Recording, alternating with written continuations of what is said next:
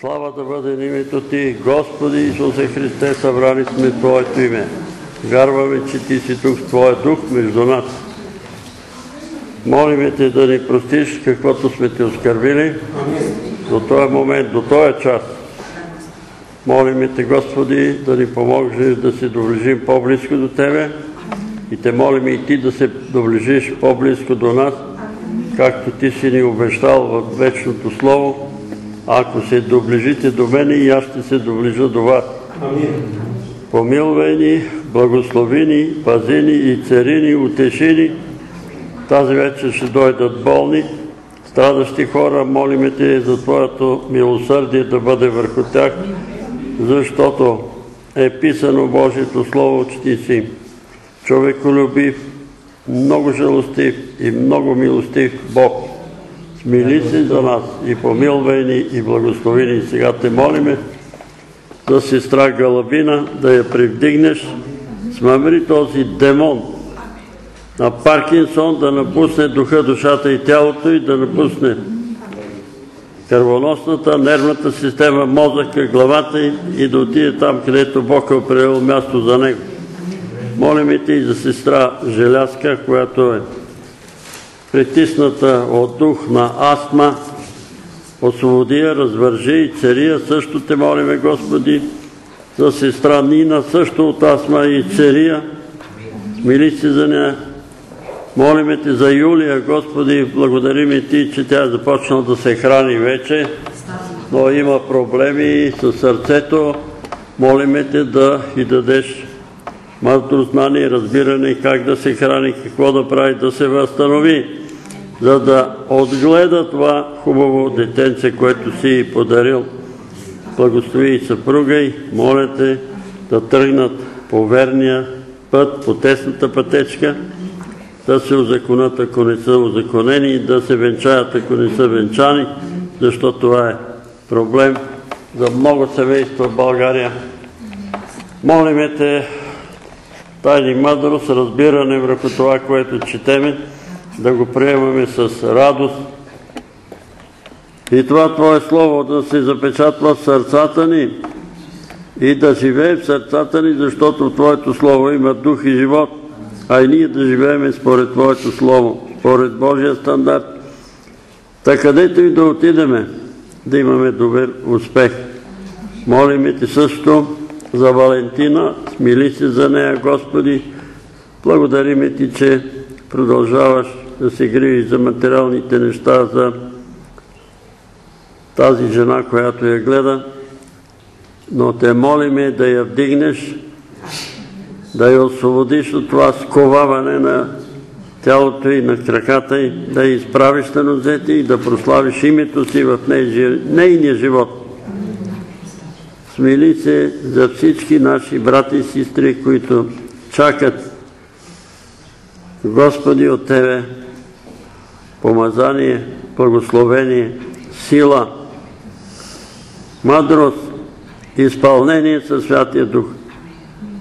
Сега те молиме, Душе на истината, Душе Святи Утешителю, животворящи Душе, ръководи това наше събрание. Молим те за ясни и точни видения и откровения. Не допускай лукави духове да се набъркват в събранието ни или в виденията, които ти даваш. Слава да бъде името ти, поклон на святото ти име, подари ни благодат за хваление, благодат за молитва, благодат за говорене и благодат за слушане, Слава, чест и поклон на името Ти, Свята Тройца, един Бог в три лица, Отец, Син и Светия Дух. Амин. За Галабина се появи с Паркинсона една котка. И тя котка, котка. Дух. Постепенно, постепенно почна За да Галабина смалява. става дума. Се смалява, почна да се смалява до малко коте. Вижте голема котка, която се смалява до малко коте, това е дух в нея, който тя обаче трябва да продължава да се моли за сестра си, за да може да й прости от сърце. Понеже с нощи я питах, има ли човек, който да те оскърбил, да, сестра ми, и излагаме и играме с нивите, с наследството. Ако от сърце не прощаваме, Господ не прощава. Не може и царене, ако ние не сме простили на един човек. Не може. Господ си държи на слово. Ако ви от сърце не простите прегрешенията на човек, вашия небесен отец няма да ви прости. Сега намалява се, сигурно ще получи подобрение, но ако я видиш, ако се чуете, от сърце да се моли за сестра си, благослови я, помилва я. Как ще видиш сестра си в ада, ще се радва ли? От сърце.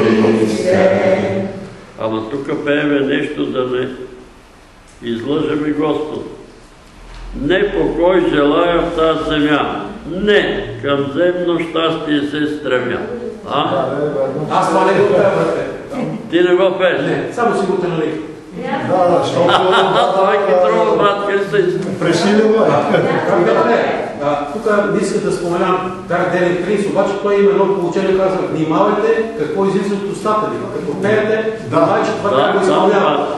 Да. Дали не желаеме покой в тази земя? Ами, аз искам да ви кажа само, че на времето, като повярвах,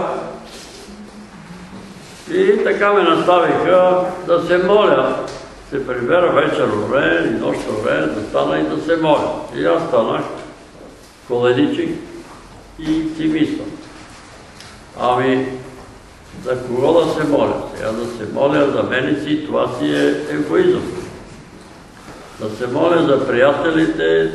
Господен егоизъм. Господи, за какво да се моля? Викам, сетих си, Господи. Ще се моля за враговете. До тогава си имах мир и покой на тая земя. И като почнах да се моля за враговете, обаче казах, Господи, аз не имам врагове. Аз не имам врагове. И като се набъдеха едни врагове, и свят език ми каза, записвай го. И то, и то, 176 души врагове, за които аз се моля. И покоя ми на тази земя беше нарушен. Защото тая песен е моята любима песен. Аз всеки ден я пех и не покой желая в тази земя. И като не желаеш покой, айде сега да те видя. Айде да те видя къде отиваш. Затова трябва да внимаваме какво пееме. Брат Христов е прав сега. Това го прескачам. Не. Кой човек не желая мир и покой? Кой не желая мир? Защото покой мисля, че е на руски. Дали е на руски, брат? Покой. Покой е част от Божия мир, как разбирате, знам. Покой, а тя е друга мисля. Ами 503. Надявам се също да знаем добре.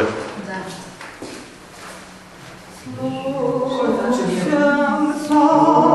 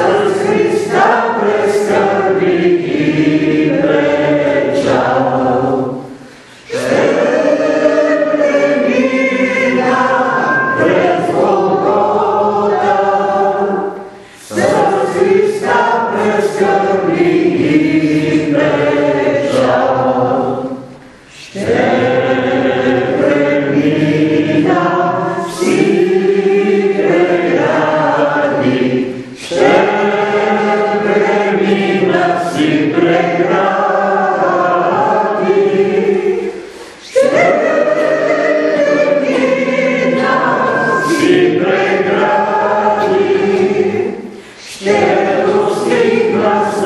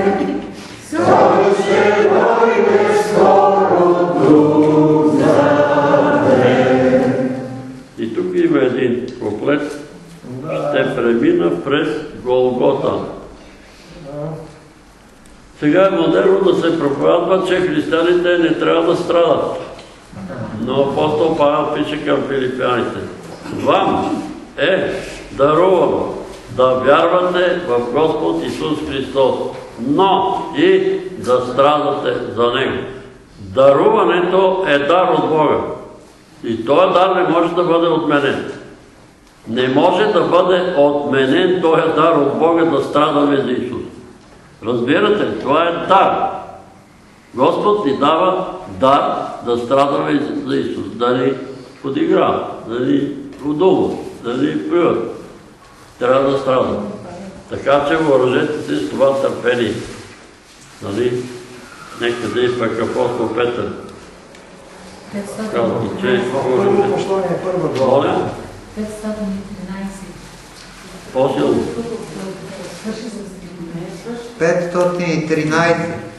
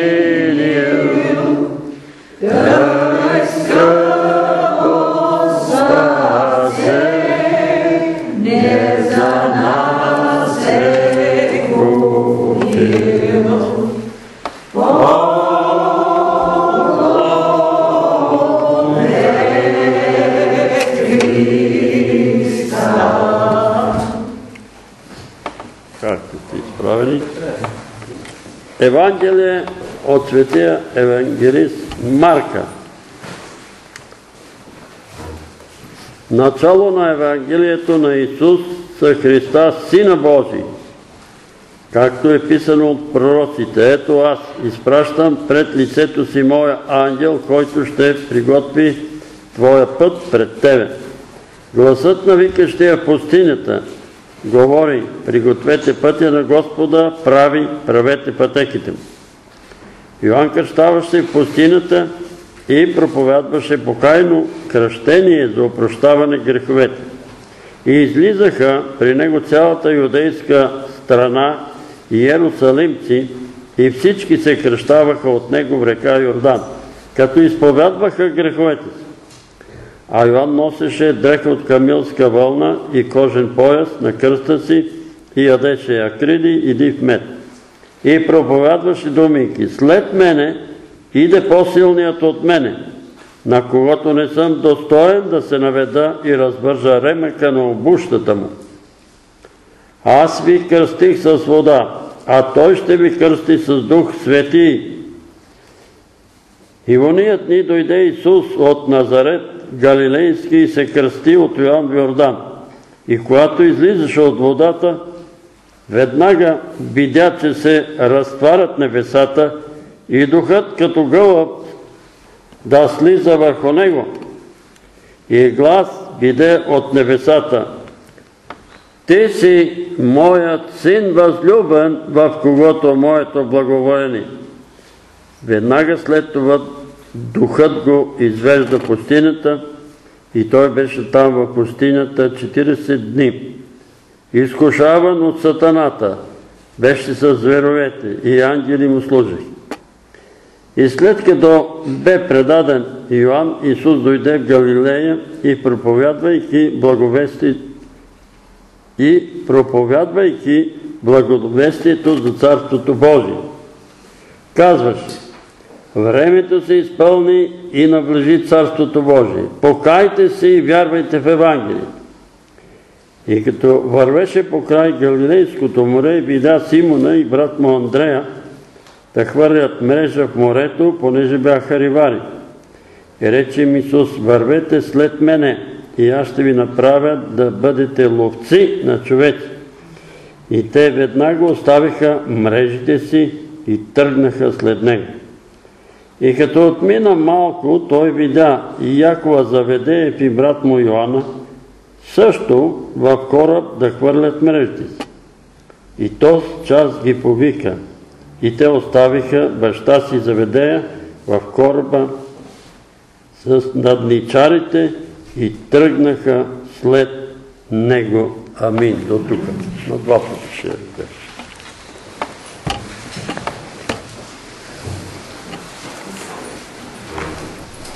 И следователите на Евангелието от Марка, всички са единодушни, че то е написано от Йоан Марка под диктовката, т.е. не е точно диктовката, но мнозина считат, че апостол Петър е разказвал тия събития и Йоан Марко ги е записвал. Има спорове за точно кога е написано. Нас това не ни вълнува, или 68-та, или 66-та, или 70-та, тия години. Важно, че е написано. И нещата, които са написани в Евангелието от Марка са много точни и подробни. Съществува мнението, че ако някой човек иска да повярва между евангелските среди, трябва да му се даде Евангелието на Йоанн. Но други са на мнение, че трябва да му дадат първо Евангелието на Марка. Защото то е по-достъпно за хората. В Йоанна има дълбочини. Това е по-ясно и достъпно. И Марка започва направо с дейността на, на Спасителя. Той по-накратко казва тук, че Исус е бил изкушаван в пустината, докато другите евангелисти го описват по-подробно и ние ще прочетеме, речеме тук от Лука.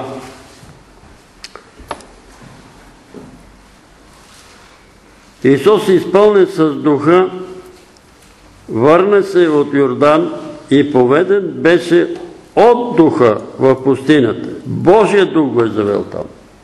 Не дявола го е завел. Там той биде изкушава 40 дена от дявола и нищо не яде през тия дни. И като се изминаха те, най-сетне огладня.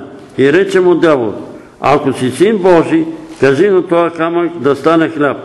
А Исус му отговори и рече, писано е, че не само с хляб ще живее човек, но и с всяко Слово Божие. И като го отведе на висока планина, дяволът му показа всички царства на Вселената в един миг време. И рече му дявол, тебе ще дам властта над всички тия царства и славата им, понеже тя е мене предадена и аз я давам комуто си искам. Ако прочем и се поклониш, всичко ще бъде твое. Исус му отговори и рече, махни се от мене, сатана, защото писано е Господу Богу Твоему се покланай и нему едному служи.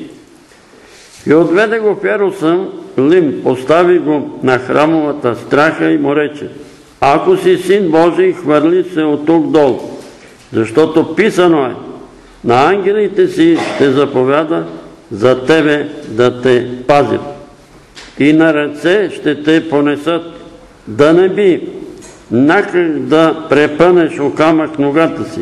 Исус му отговори и рече, казано е, няма да изкушиш Господа Бога Твоя.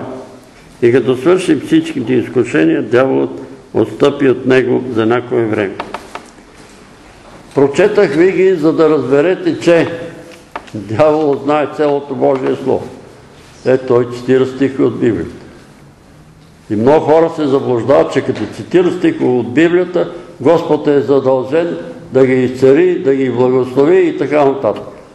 Ето, дяволът цитира стихи и той ги цитира точно. Цитира точно. Нали? Писано е на ангелите и така нататък.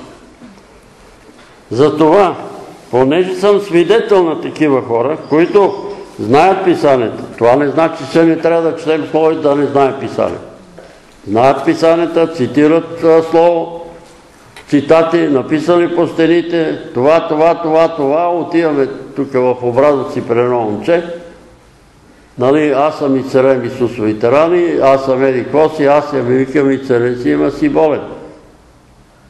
Аз еди, какво си, ама немаш два лева да си купиш хлеб и лекарство. И какво става? Защо е така?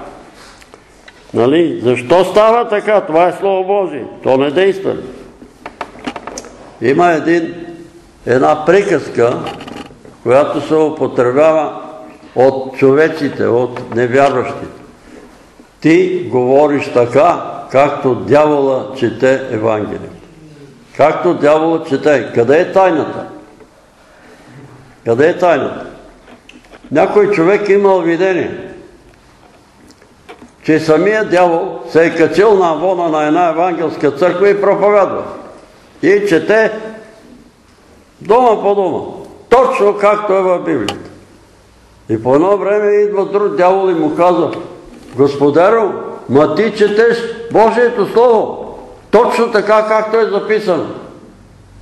А той се усмихна и каза, какво като го чета, нали няма благодат? Нали няма благодат? Какво като го чета Словото Божие? Разбирате ли какво искам да ви кажа? Ние може да цитираме Слово Божие, както сега чета една книга, една жена, която казва, че Исус не е син Божий в тази книга, но цитира стихове от Библията. Тая жена знае много стихове от Библията. Ще я ползва ли като а, брат Димитър, ще я ползва ли като... Няма да я ползва. Няма. Аз бех в... на обиколката в Израел тази ескозоводка. Тя цитира стихове от Библията. Не само цитира, вика тук Симон Кириней се вземал кръста. Тук се е родил Исус. Тук еди какво си. И целият Израел. И накрая казва, викам, вярвате ли, че Исус е Месият? А ние си имаме друг Месият.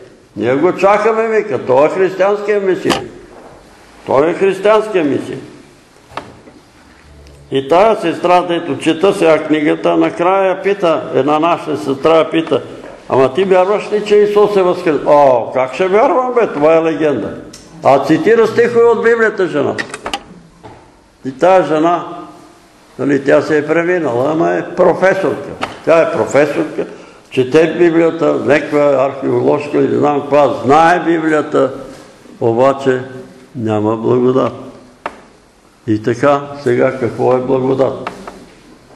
Какво е благодат? Какво е благодат?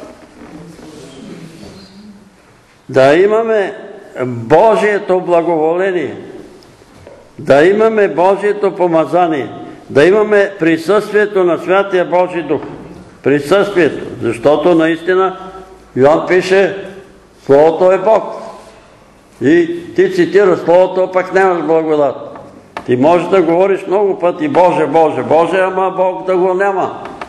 Бог да го няма, ти да си викаш Боже, Боже. Много хора, олеле, Божичко и така нататък, да е напразно произнасяне на Божието име. А и сам Господ Исус казва, защо ме зовете Господи, Господи? Защо ме зовете Господи, Господи? А не вършите това, което ви казвам или това, което съм казал.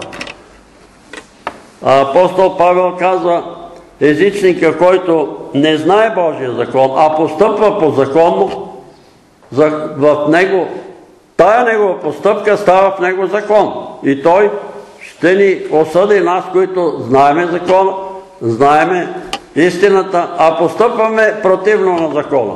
И ни е много лесно да кажем, закона е закован на кръста, не ме интересува закона. Не ме интересува. Какво значи не те интересува? Може да си лъжиш, да си крадеш, да блудстваш, да прелюбодействаш. И не само това, а да вършиш гнусни дела, както казва цар Давид. Казвам това, не знам защо ми се дава. Но има хора, които вършат такива дела.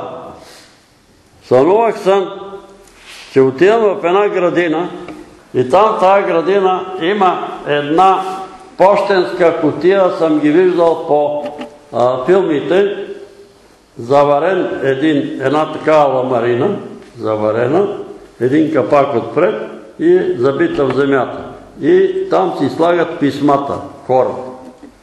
И аз отивам до тая градина и виждам тая почтенска там кутия и на нея чета с такива големи букви.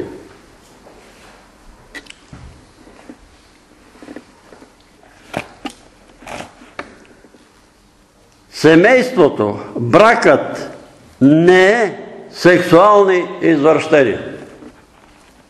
Значи има семейни хора между нас, които вършат сексуални извращения. Аз не мога да съда никого. Но това, щом го получава, значи има такива хора.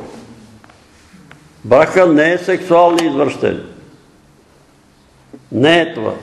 А като отидем при некой умираш и го питаме, прави ли това, прави го, това прави ли го? Еми, прави го. Защо го прави? Защо го прави? Да извинява, тук има една стара, нейния син, го питаме.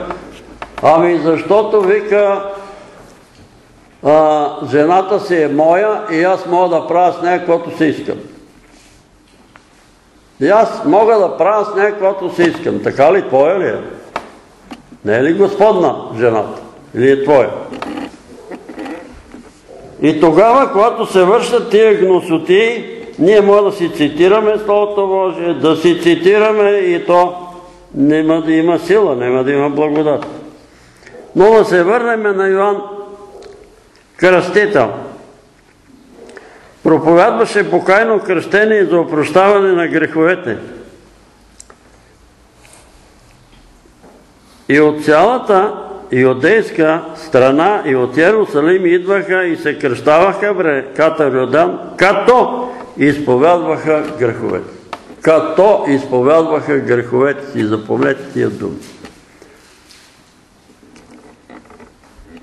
Какво представляваше Йоановото кръщене? Очистване, очистване на човека, за да може да се срещне с Спасител, да се срещне със своя Спасител. Обърнете внимание, че уния фарисеи, хората, които се кръщаваха в това покайно кръщене, приеха Исус. Защото те беха изравнили пътя. Беха направили пътя равен до Исус. Затова казва, направете всяка а, планина да се сниши, всяка долина да се издигне и да стане пътя равен до Исус. И тия хора, които приеха и се кръстиха във водното кръщение, те повярваха в Исус Христос. Спомнете си, когато изкушаваха Исус и Той ги попита, фарисеите, имам и аз да ви попитам нещо. Ще ви отговоря с каква власт правя това, ако вие ми отговорите. Йоановото кръщене от Бога ли беше или не беше? И те съвещаваха и казаха, ако кажеме, че не от Бога народът ще ни изтрепе с камери, защото вярваха, че Йоан е пророк. Ако пък кажеме, ако пък кажеме от Бога е, тогава той ще ни попита, а защо не го прехте? Що ме от Бога, що не го прехте, що не повярвахте? И отговориха, не знаем. Исус им каза, е, аз няма да ви кажа каква власт, щом не знаем. Не знаем. Защо не го приеха? Ми не го приеха, защото не се покаяха. Не се покаяха. Ето, днеска чета една книга там. Една християнка, българка, много известна професорка, каза, че е християнка. Обаче не вярва, че Исус син Божий. Аз видях, нали, царство му небесно, за да се е покаял. Продев, главен редактор на Вестник Дума, питат го журналистите. Вие християни ли сте? Да, аз съм християнин, на Възкресение Христос. Аз съм християнин. Ама вярвате ли, че Исус Христос е възкръснал? А, как ще възкръсне? Моля ми се, това е легенда. Е, християнин ли? Ма не е християнин. Не е християнин. И фарисеите не можаха да повярват. Не можаха. Защо? Защото не, се, не изправиха пътя, не се покаяха. Така сме и ние сега. Ние говориме за покаяние. Йоанн Кръстител как започна служението? Покайте се. Исус как започна служението си? Покайте се. Апостол Петър на 50-ница как започна служението? Покайте се. Какво значи покайте се? Метадона на гръцки означава променете се. Променете се. Това значи покайте се. Променете се. Какво да се промени? И да се променим. От вчера сме лъгали и днес трябва да спрем. До вчера сме пиели, трябва да спрем да се напиваме. До вчера сме крали, трябва да спрем да крадем. Ама закона, емите, това е закона. По това се познава дали сме се променили. По закона ни показва дали сме се променили. Почитай баща си и майка си. Не почита баща си, не почита майка. Не се е променил. Не се е променил. Много младежи не почитат родителите си и казват, аз съм се покаял. Не си се покаял. Блудстваш, прелюбодействаш и казваш, аз съм се покаял. Нали, аз имам такива сестри, Господ да им помогне. Аз съм се покаял. Живееш ли, Димитър, живея. Венчана ли си? Не съм. Подписали? Не съм. Еми, не си се покаял. Покаял съм се. Е, кой се е покаял? Не си се покаял. Това е. Трябва да изправим пътя. Изправили сме пътя аз и вие за себе си. И тогава Исус ще дойде в живота ни, защото Дейвид Улкерсън, преди да си замине от този свят, има една негова проповед, той седи на един стол, вече не може да говори и казва. Църквите, които съм сътворил, книгите, които съм написал, проповедите, които съм проповядвал, цел живот, нищо няма да струват, ако аз не познавам лично Исус и ако Исус не ме познава лично мен. Ако не ме познава мен и ако аз не го познавам. Какво ще стане, ако Исус не го познава? Ако Исус мен не ме познава или теб не те познава? Като дойде ще каже, кой си ти? Не те познавам. Ама аз ходех на боли на ливата. Ама аз ходех на Бачо Кирил. Аз бех от Божия църква. Как така, Господи? Как може? Ами не те познавам. Не те познавам. Знаете, нали, там тези петте девици, на които Господ, Господи, отвори ни, не ви познавам. Не ви познавам откъде сте. Затова, какво трябва да направим? Да изправим пътя. Да оправим пътя, да оправим пътеките си. Не мога да криволичим налево, надесно. Нали? От друга страна, никого не трябва да съдим, защото това е един процес на духовното раждане. Ама никого. Колкото и да е грешен един човек, той може да не изпревари. Така казва Исус. Последните ще изпреварат първите.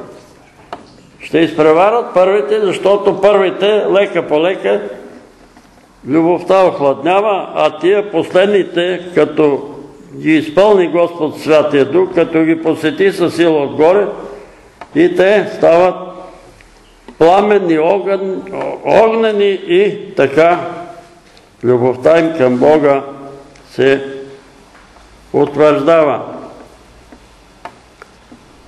Какъв беше Йоанн Кръстител?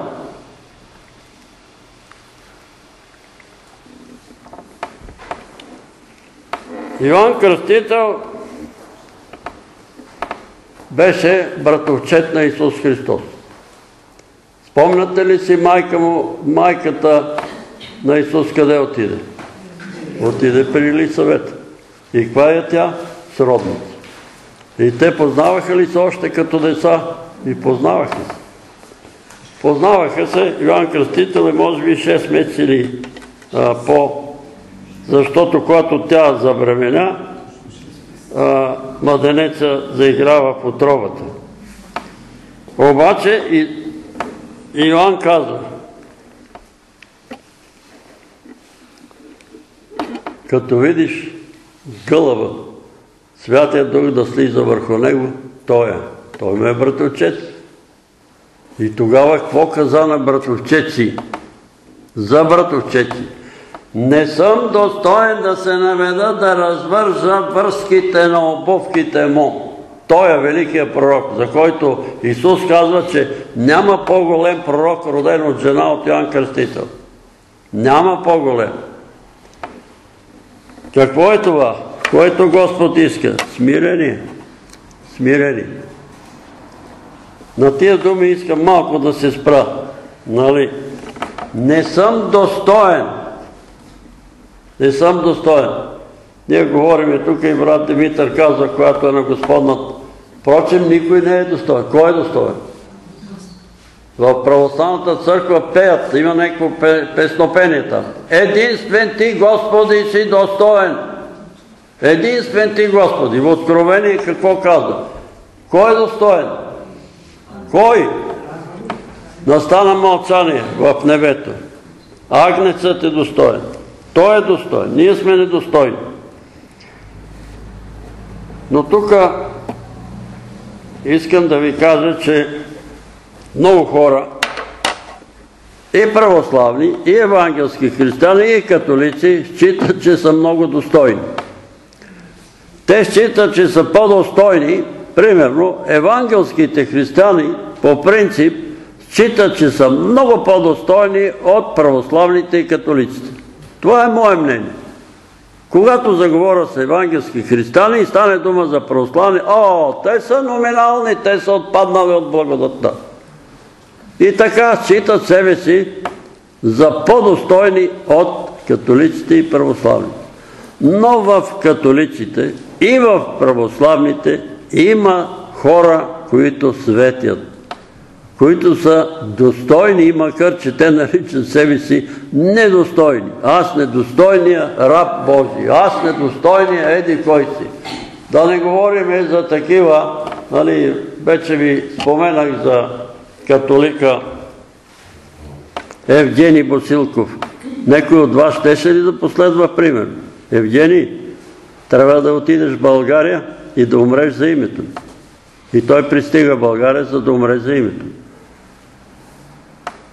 Нашия съдебен състав го осъжда на доживотен затвор. Сестра му тича да му каже, а той каза, сестро, тази нощ Исус дойде и ми каза, Евгений, утре вечер си при мен. И го осъдиха на разстрел. Католик, номинален според нас християни. Е, кой от вас може да се сравни с теб? Че така, сигурно че издържиш. Да не говорим и за колко плеяда православни християни има, които са обрели и са устояли до край. Обаче има и много православни християни, особено тия, които са вече станали, както и евангелски християни, които знаят, много знаят, познават Библията и читат, че те всичко знаят и апостол казва, че такива нищо не знаят. Нищо не знаят, защото има неща, които не са им открити. Но по принцип е много трудно, когато човек се издигне в неговата деноминация, да се смири. Не може. Много е трудно.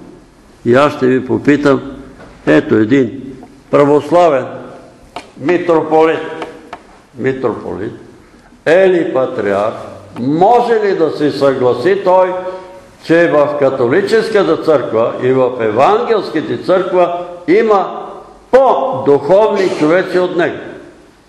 Дали ще може да се Много ще му бъде трудно. Знаете ли защо? Защото ще наруши канона. Канона казва, че православните са единствените. И ще наруши канона. Същото е в католическата църква. А Свети Тихон Задонски казва по какво се познава горделивия човек. Горделивия човек не се съгласява в никоя деноминация, католици, протестанти, не знам какви там, да има равни на него. На равни на него. Да не говорим за по-духовни от него. И нека ние да си дадем за себе си отговор. За себе си. Вярвам ли аз, че в православната църква има по-духовни от мен? Вярвам. Вие вярвате ли? Вярвате ли, че в католическата църква има по-духовни от вас? Вярвате ли, че в баптистската църква има по-духовни от вас? И аз вярвам. И аз вярвам. Във всека деноминация Господ има. Има.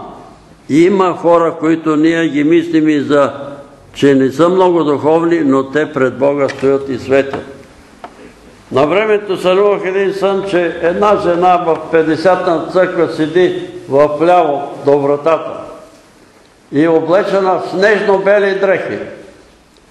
А другите вътре са в парцаливи дрехи. А тя е в снежно-бели дрехи. И аз се заинтересувах от тази жена. Даже ми се каза за тия. Нали, до вратата дойде един ангел и като погледна църквата и каза, превърнали са се в просици. Пред Бога, превърнали са се в просици. Дай, дай, дай, дай, дай. И питам, абе тая жена, познавате ли я? Питам там сестра Саша, жената на брат Зарев. А, тая жена вика, тя се си мълчи, тая жена. Седи тук до вратата и се си мълчи. Питам други сестри, ви познавате ли тая жена? Ами да, вика. Тя пита, изпитва, има ли някоя сестра, която да е налегло? Да е болна и да е налегло. Отива, сменя памперци, измива я, изкъпва я, сготвя и слага и храната и си отива. И си отива. И сега. Аз ви казах няколко пъти за Ваня. Ваня лежи на легло. Скована е на легло. Подобри се, пак лежи. И питаме, има ли някоя сестра срещу 10 лева на час да отиде да измени памперците, да изанесе храна? Нема такива желаящи. Само сестра Цецка ходиха с Виолета ли ходихте там, но обаче те не могат да й помогнат, тя е тежка. Разбирате ли, Господи, Господи, и когато стане въпрос, ние си имаме за много духовни, ама е, там е нашата духовност. Болен бех, не ме посетих. И тук е една тайна за здравето, която брат Димитър често я казва. Искате ли да сте здрави? Еми искам. Еми молете се за болните. Молете се за болните хора и като се молите за болния, Бог ви дава и на вас здраве. Молете се за болния. Обаче ние почваме да критикуваме да се, ама той не е от нашата. Е, какво като не е от вашата? Какво като не е от вашата? Той е човек, той е Божие творение. Той не е от нашата. Или нещо друго. Ами той не приема това или онова. Човека е така ли постъпи добрия самарянин? Отиде и му каза, какво си пострадал, бе? Кой закъса? Ти 50 ли си? Не съм. А, ти не си от нашата, айде. Ти не си от нашата. Ели ти баптисти си? Не съм. А, ти не си от нашата. Ти не си от нашата. Един ден една жена беше пред вратата на една евангелска църква и раздаваха помощи. Аз я познавам тази жена. Тя е довица, сама, самотна, много бедна женица. И тя отиде на вратата и попита пастира, може ли на мен да ви дадете от помощ? О, не, ти не си от нашите. Не може, ти не си от нашите. Ти не си от нашите. Е, изправили ли сме си живота? Дали сме се смирили като Йоанн Кръстител? Можем ли да кажем, не съм достоен? И гледам разни момичета, извинявате, ама на тия хваленията и пеят една песен. Аз ще танцувам пред Исус, аз ще танцувам пред престола на Бога. Бе, как си танцуваш, бе, момиче? Великият пророк, великият, най-великият между родените от жени, изговара, че не е достоен да развърже връзката на обощата му, а ти ще се кълчиш и ще танцуваш. Как ще танцуваш? Къде се намираш? Защото не знаете, не знаеме какво означава Божието присъствие. Не знаем. Къде ще се намериме с нашата гордост? Исус дойде да се кръсти. Иоанн му казва, аз имам нужда да се кръста от теб. Ти ли идваш да се... Остави да изпълни всяка правда. Какво значи? Да изпълним всяко Божие Слово. Не може Исус да нарушава Божието Слово. Не може. Той казва, че нито една йота Некои обясняват, че йота това е една чертичка, като най-кратко това отгоре. Не може да се отмени от закон. А ние го отменяме и викаме, не ме интересува закон, аз съм под благодат. И той казва, че нито една чертичка нема да отмине, докато всичко не се изпълни. И той го изпълни закон. Отменен е церемониалния закон. Отменени са жертви и приноси. Това е отменено. Пророк Данаил. Христа Владика за половин седмица ще отмени жертва и принос. Коя е тази половин седмица? Четвърта го арестуват, петък го убиват на кръста, събота е в гроба, сутринта в неделя е възкръснал. Ето го, той отмени жертва и принос. Но не е отменил закона да крадем и да лъжем. Не е отменил закона да лъжем и да крадем и да вършим гносоти. И така ангела, т.е. Божия дух слезна като гъла върху него, върху него, не над него, върху него слезна. И тогава дойде глас от небесата, ти си моят възлюблен син, в когото е моето благоволение. И сега, тия, които казват, аз съм християнин, но не вярвам, че Исус е син Божий. Еми, какво, какъв християнин си? Ето тук Бог, Твореца на Вселената, казва, че Той е син Божий, а ти казваш, аз не вярвам, че е син Божий. Не си християнин. Само имаш, носиш името на християнин. Но ако не вярваш, че Исус е син Божий, и ето Бог на три места, има още две места, където от небето директно Бог говори. Къде беше? На планината на преображението. Той е моя възлюблен син, който е моето благоволение. Не го слушай. И сега как хора, които казват, че са християни, казват, че той е велик реформатор, велик е, е, учител, но не е син Божий. Еми, не сте християни. Нека ме чуят всички тия, които казват, ние сме християни, но не вярваме, че Исус е син Божий. Не сте християни. Да ме чуят. Не сте. Щом не вярвате, че Исус е син Божий. Щом не вярвате, че Исус е възкръснал от мъртвите, не, ще, не сте християни. Не сте, щом не вярвате, че Исус е възкръснал от мъртвите. Аз познавам свещеници, не че всички православни свещеници са такива, но пред мене заявиха, че не вярват, че Исус е възкръснал. И си ходи и си служи там в църквата и си гледа требите и си изкарва прехраната като чиновник, обаче не вярва, че Исус е възкръснал. Нема да го ползва това служение. Нема. То ще е само за земята да се изкарва прехрана. Да се изкарва прехрана. Затова тая жена, дето нали, казах и в началото, е казала на Стра Мария. Исус казва да не съдиш. Защото с какъвто съд съдиш, с такъв ще бъдеш съден. Не можеш да ме съдиш мене, която вярвам или не вярвам, аз съм християнка. Аз не вярвам, че е зачената от Святия Дух.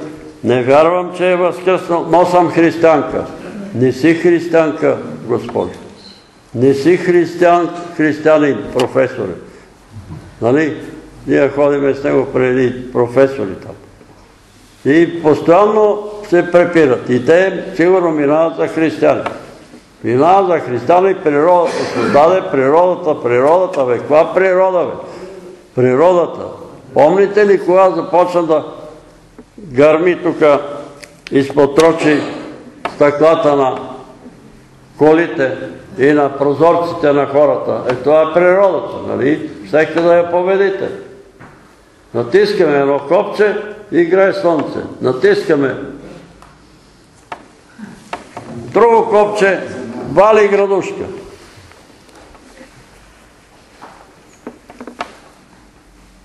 Това е записано на един митинг в град Плевен, изказване на Цола Драгойчева. Ние ще победим природата. Натискаме едно копче, вали дъжд. Натискаме друго копче, грее слънце. И като се разтресе земята по времето на земетресението, брат Златан е бил на улица Стара планина и гледа там хората изкачат, бегат и той вика, къде бегате бе, натиснете копчето бе. Абе, ти лутеци бе, ко копче бе? Абе, натиснете копчето бе, дето щехте да победите природата бе, къде бегате сега?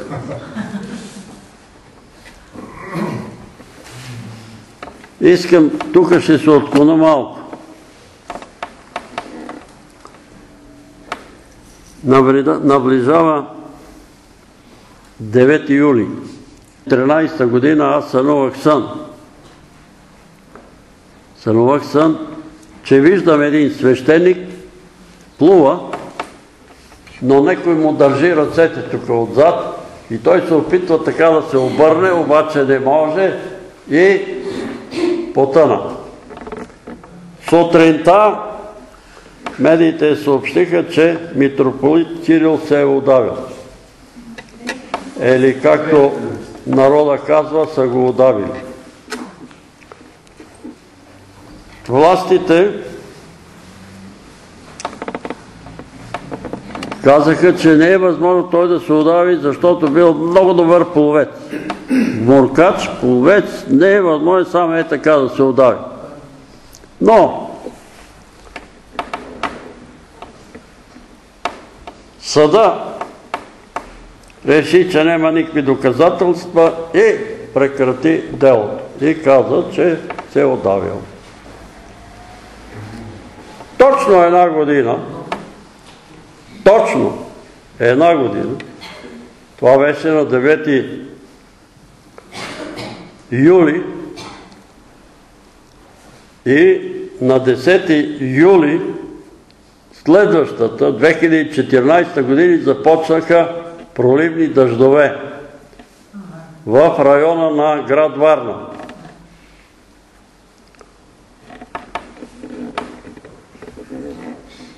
Но преди това, да, точно така беше. И стана едно страшно наводнение в квартала Спарухово и в Балчик, при което загинаха 13 души. Точно след една година. Исус казва една притча за едно дърво, което не давало плодове. И господарът казал, отсечи го. Но земеделец се казал, да го оставим още една година. Ще го наториме, ще го напоиме, тук нали, да даде. Ако па не даде, по тогава отсечи го. И Господ даде един една година срок, но никой не се покая. Загинаха 13 души. След още, не помна колко, мисля една или две години, след една година беше, 14-та година. На 8 юли, един ден преди гибелта на патриарх, най-на Кирил, в София стана страхотна буря, помните ли? Гърмотевица, такава градушка, колкото орехи, па и по-големи, като яйца, и беха изпочупени маса стъкла на коли и маса стъкла по прозорците на хората.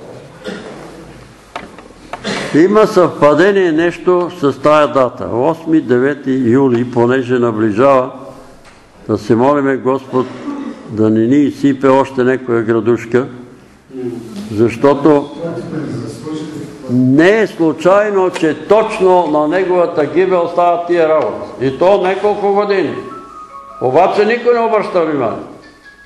Никой не обръща внимание, че става на 8 юли, на 9 юли, на 19 юли.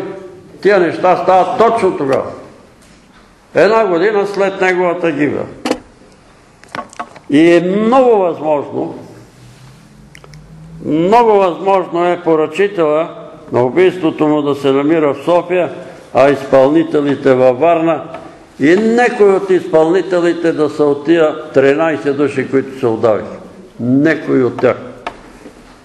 И затова, понеже наближава 9 юли, да се молиме Господ да се смири над Варна, да се смири над София, да ни помилва, да се смири над Негушево, а и надолу към Марци. Да се смили да не удари някаква градушка, че отиде на празно труда. Ама сега ние с брат Христо не сме виновни, че са го убили, нали, митрополита. Ама Божия гняв, пише там Библията, градушка, земетръс, буря, вятър, ураган, всичко е приготвено за наказание. Така пише Библията. Всичко това е приготвено за наказание. То не е случайно. То не е случайно. Ама нали скоро във Варна имаше наводнение? Преди седмица, две ли беше? Не съм, аз не съм чул и не съм гледал, Панчо, тия неща.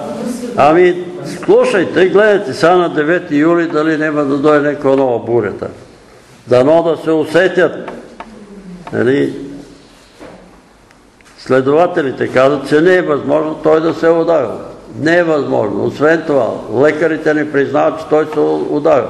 При аутопсията не са намерили капка вода в белите дробове. Капка вода. Е как се е удавил, като без да е глотнала една капка вода. И въпреки това, е, удавил се. Удавил се. И така ние продължаваме натам. Исус събира учениците си, отива в Галилея, върви по брега и трябва да ви кажа, че и те са негови роднини, заведеевите синове. И така, първо вижда Симон и брат му Андрей, счита се, че първо е поканил Андрей, нали Андрей първозвани, и Симон им каза, вървете след мен. Те са го познавали. Те са били родни. Те са го знаели от малък. Те са знаели кой е той. До някъде са знаели. Как така остават рибите, остават всичко и тръгват след него. Те са имали представа кой е Исус, за да тръгнат след него. Освен това, има една картина, Третаковската галерия, тя е грамадна, колкото може би тая стена. Тук е цялото това. И тази картина се казва Явяването на Исуса Христа на народа. В тази картина художника Иванов е нарисувал. Йоанн Кръстител кръщава хората с този пояс, с една тояга виса така държи и кръщава хората във водата. Нали, пред него са, едни са във водата, други са на брега, но всичките, всички тях, които са на брега, ги е нарисувал в най-естествени човешки пози. С изключение на един, който е взел една такава много смирена поза. И, и екскурзовода вика, досещате ли се кой е? И народа вика, Юда Искаротски. Юда, единствени. И с едната ръка Иоанн сочи на Исус, който идва от далечината. Аз съм стоял там доста време през тази картина.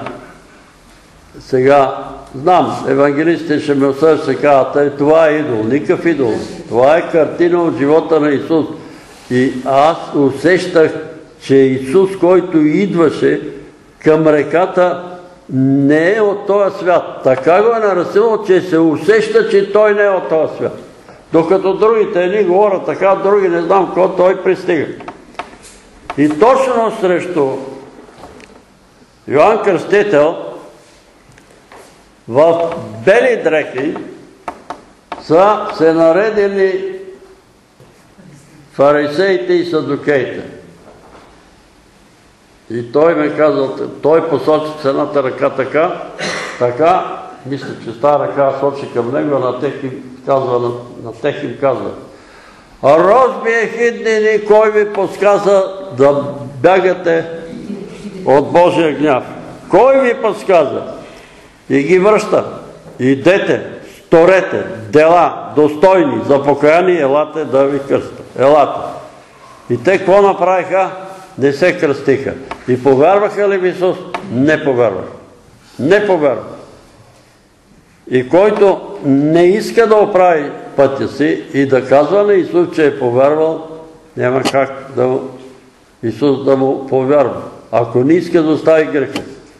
Грехът трябва да бъде оставен. Трябва да бъде изповядан. Не можеш да го оставиш греха. Не можеш, пушиш, говорихме за цигарите. Две трети от жените на България страдат от астматични проблеми.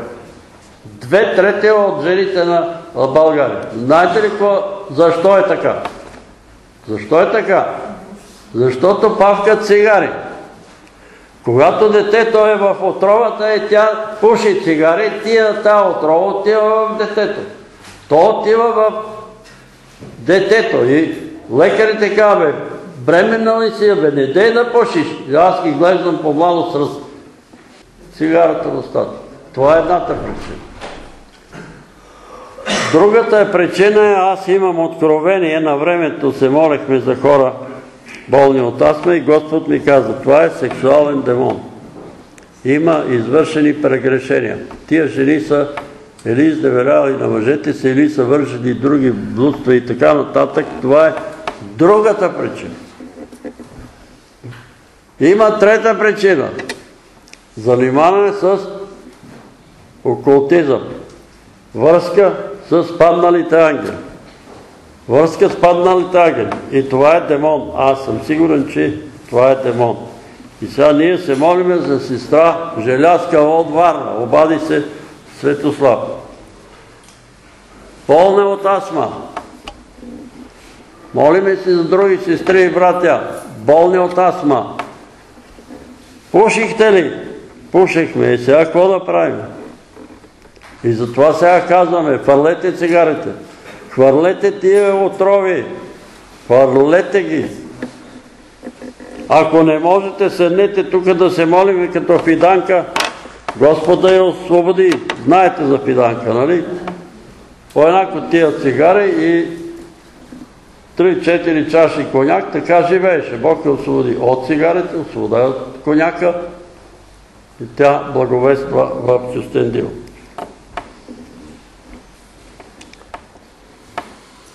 Дойдете след мене и те дойдоха. Заведевите синове също, те го познаваха. Дойдоха след него. Хвърлиха мрежите, оставиха всичко и тръгнаха след него. И заведевите оставиха кораба и надничарите и тръгнаха след него. Поиска Господ от нас да тръгнем след него. Когато я младеж дойде и попита какво да сторя, за да имам живот вечен. Пази заповедите. Уния, които казвате, че не са важни заповедите. Как така не са важни? Ама то е Стария завет. Ама къв Стар завет? Исус казва, пази заповедите. Кои? Не кради, не лъжи, не убивай, очитай бащата и майките. Всичко съм опазил от младини. Дали беше опазил всичко? Имаше един грах, който не беше опазен. И този грах беше не си прави идол. И този грах беше идоло, идола, богатството. И той му каза, раздай богатството на сирма, ела да ме след. И той какво стана? Отиде си нажален, защото беше много богат. Много богат човек.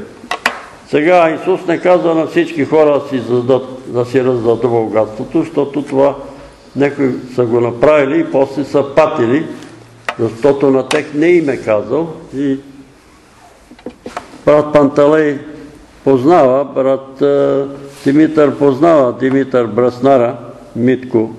Помниш ли? Той е вземал тоя, воодушевил се много, че Бог ще го използва с голяма сила и ще профада с голяма сила и за малко си продал имота, раздал на сиромасите, има пет деца. Пет деца. И това е било по време на сестра Мара Вирчева ми е разказвала, по време на бомбардировки. И реве, и децата му реват. Ема Господи, ти, ти пишеш тука, нали, раздай имота си на сиромасите, ела да ме следваш. И аз раздадох имота си и тръгвам да те следвам. Ами децата ми, ми сега децата са гладни. И Бог му отговорил, на тебе не съм ти казал да си раздадеш имота. Да не би някой от вас сега, като ви говоря за богатия младеж, да реше, абе, а чакай дия да си раздам имота, всичко да пръсна и да тръгна. Ако те е призвал Господ, направи го. Ама ако не, ако не, не го прави. Затова това буквално поведение на Божието Слово е сега те тръгнаха. Сега на мене, ако ми е казал Господ, остави завод честите преби и напускай. И аз напуснах. И какво направих? Отидах си на село и реших да гледам гъби. Направих гъбарници, насеях гъбите. Плана ми беше 3 тона гъби трябва да предам на държавата. За около един месец предадох около 2700. Дойде приемци и така, ще изпълниме, е, а за един месец изпълните и на другия ден гъбите спряха, нема. Изчезнаха, бе, до сутрин като станаме, бял чершав от гъби. Нема ги нещата, нема ги това ти. И стигнах до 2900 и не можа да изпълна това. Нема начин. Ма аз казах, нема начин. И Господ вика, има начин. Има начин. И сънувах съм, че хода из Камарското поле от едната страна върва към Стъргел, от тая страна десно е жито, озрало жито, а отляво е пълно с гъби. И чувам от небето глас. Търся те да те благословя, а ти се занимаваш с гъби. А ти се занимаваш с гъби. И така пропаднаха гъбите и Бог беше ме призовал говори на този народ, защото народът загива. Този народ загива от липса на знание. И се надява, нема да се случи с мене, нема да се случи с она. Защо загива? Защо? От липса на знание. Едни говорят и хулят това, що не знаят. Извинявайте, брати и сестри, трябваше да... Той е на работа светло, няма кой да плати там на... Гледачката тя не иска да оставила е така резала. И всички сме християни. И са много добри християни. И казваме, ако не ми платите, край. Няма да... Нема, аз ви казвам на тази женица, където и тя в бели дрехи. Какви са тия бели дрехи? праведните дела на светиите. Това е белия мисъл. Праведните дела на светиите. Не праведните приказки, ама и той, това е дело, то е най-важното, приказките, защото Исус какво каза? Каква беше първата му заповед? Идете по целия свят и проповядвайте Евангелието на всяка твар. Проповядвайте. На време и без време проповядвайте. Проповядваме ли? Не смеме да кажем. Като ни попитат, как се? Ви горе-долу. Какво е това горе-долу? Какво е това горе-долу? Как си? Не можеш да кажеш, благодаря на Бога. Добре, слава на Бога. После друг ще каже, трети, той е, хората ще каже, чакаме, тия хора, много хора вярват, аз и съм най- мъдрията да не вярвам.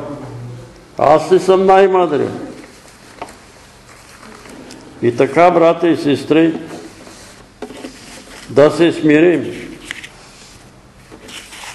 като Йоанн Кръстител, ако има някой по-велик пророк между нас, нали, може да мисли по-високо за себе си. Да се смирим като Него, да го признаеме, че е Син Божий, не само да го признаеме, да го вярваме от цялата си душа, че Бог всемогъщ и говори истината.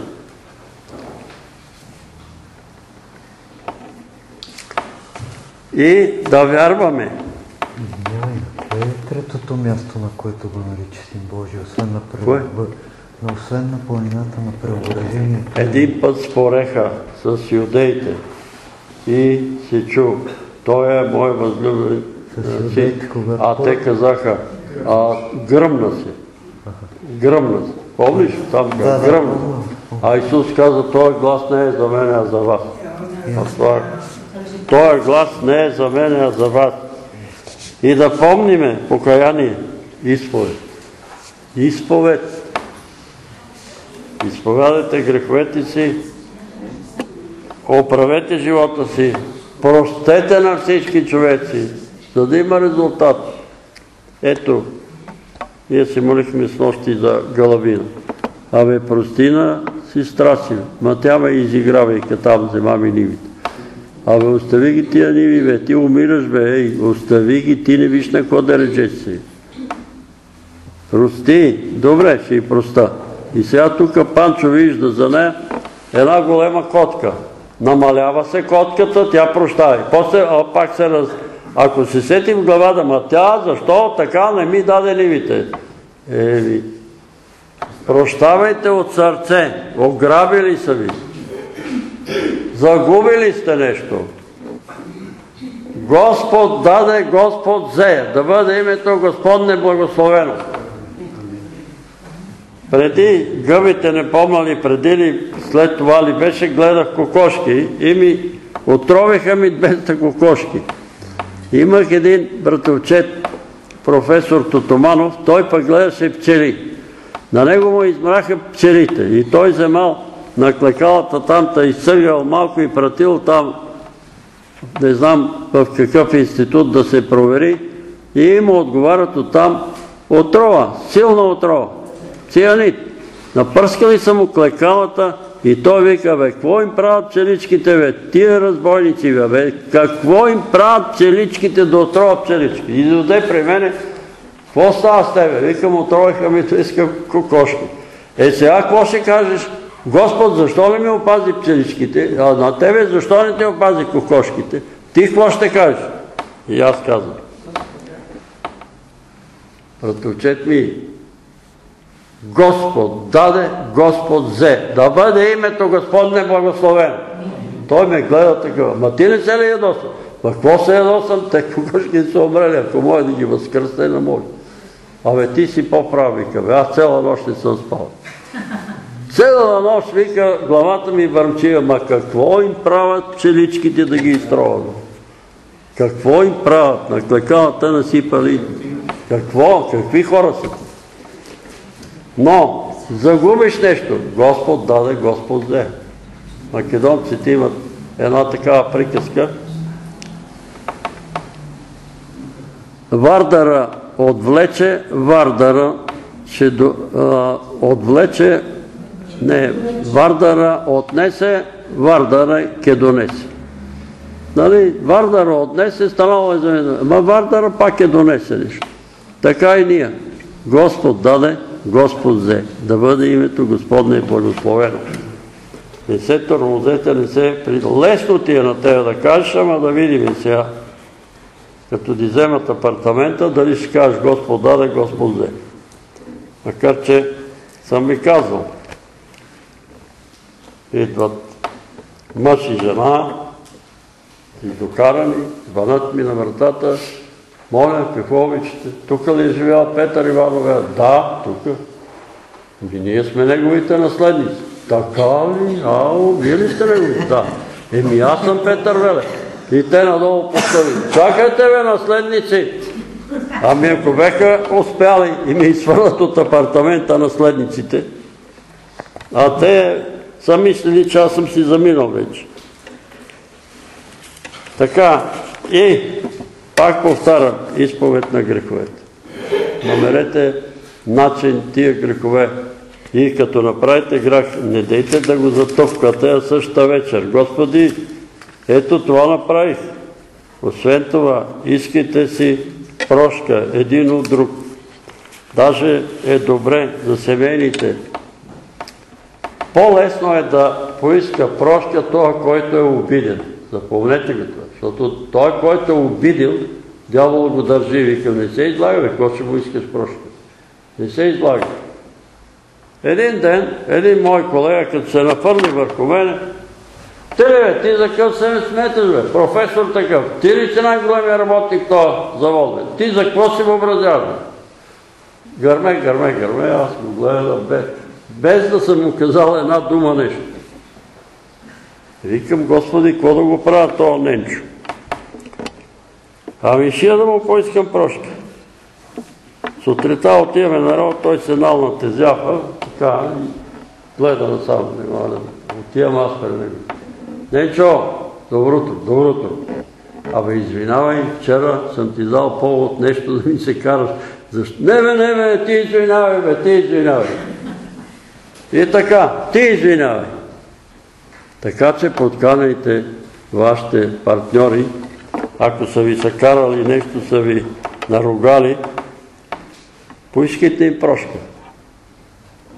Братко, сестро, татко, мамо, прощавай.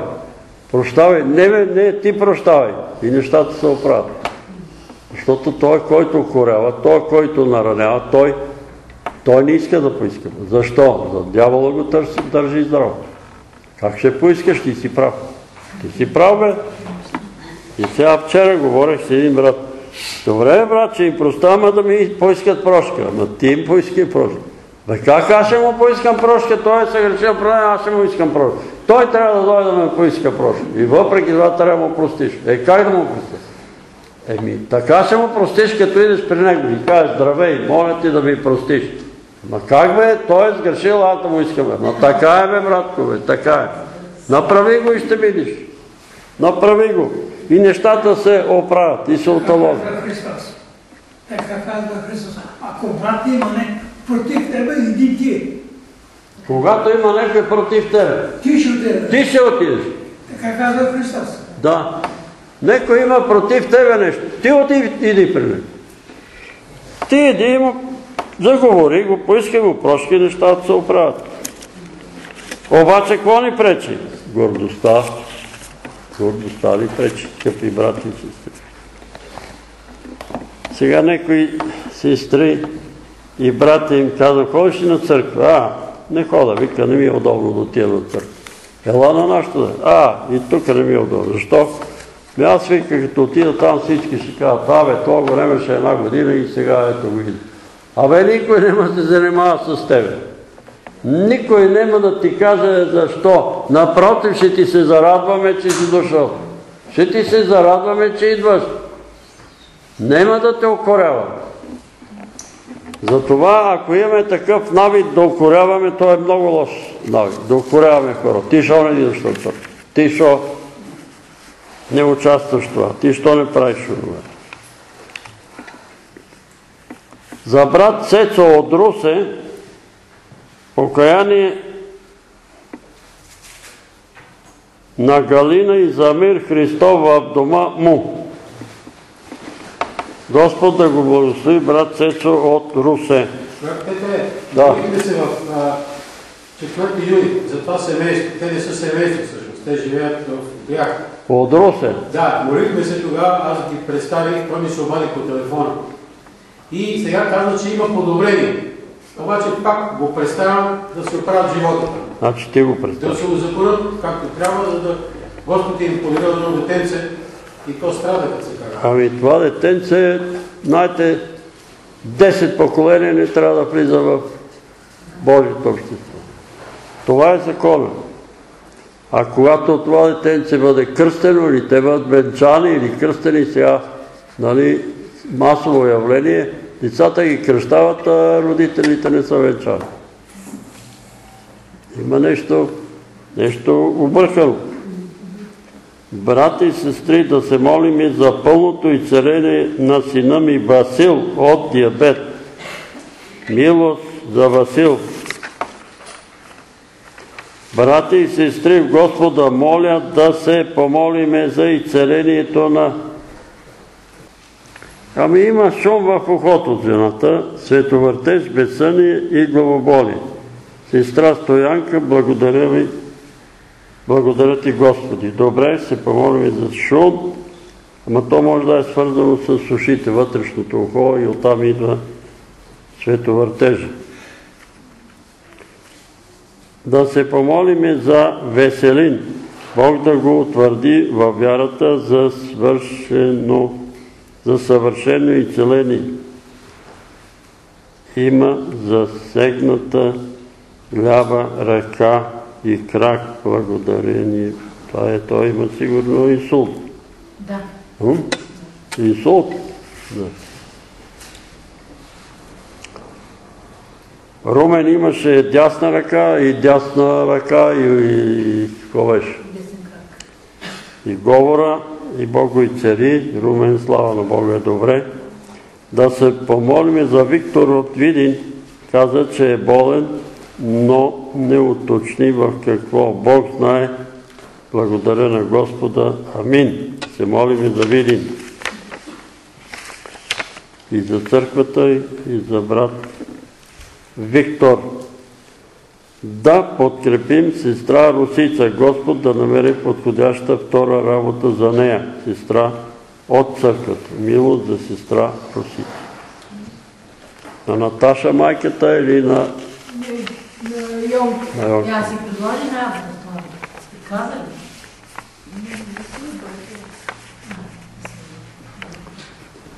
Абе, ние говорихме с Галабина там с нощи. Тя е идвала. Къде? Там да живеят с е, Йонка, ама какво да ви кажа? Не мога да мога да кажа те да си решават, защото Йонка и Роси беха на Мариана, при майка й, и нещо стана и тя ги каза им да напускат. Нещо Ами трудно е да се гледа болен човек. Трудно е. От друга страна пък по такъв начин те имат квартира. Няма да плащат на квартира. Да се молим на Бога за дядо Петър, Господ да му даде пълно души спасително покаяние сестра в църква. Дядо Петър да не съм аз. Дядо Петър е този, който гледаше Русица, той е 96 някъде годишен. Вярваш човек, но много закъса и сега Вярва с, с отец Стефан отидаха да, за причастие. Причастта, да. да, да. 90 годишен. 96. Ами къде? А, да. Русица ли се казваше, дето ходихме там? А? Русица. Да се молим и за тая Русица. Тя е на 75 години, а майка е на 97-8. Тия сестри, Господ да ги докосне, да ги помилва. Молим, нека подкрепим свещеник Стефан за изцеление от Бога на крака му и за откровение от него дали да се оперира, за квартира да се намери подходяща за него. Амин. Този свещеник е толерантен с всички, общува и с католици, с евангелисти, ходи в Конгрешанската църква, даже там не си вземе наградата, се смирява. Брати и сестри, от месец-два имам тъпи болки в корема с прекъсване и често главоболие, когато се събуждам. Да се помолим на нашия изцерител Господ Исус Христос да ме очисти и да премахне гнойното течение от дясното ухо на малката Изабела. Амин. Здрав, здрав. Малкото детенце Изабела и тече ухото. Взимайте мерки, защото може Ами тя е водила и са изписали Е, нещо не взимате, антибиотик не- Толкова много излизаше, че по всички, възглавница, всичко. Е, Казва, вика, може би попреминава вече, но аз реших да Ама това настинка ли е станало? От греб ли е станало? От настинка ли? От какво? Ми не знам, от истинка ли преди това баща и така получил една, две седмици преди това и той нещо с едното ухо. Как се казваше тя? Изабела. Малката Изабела, да. Има това са те са са там.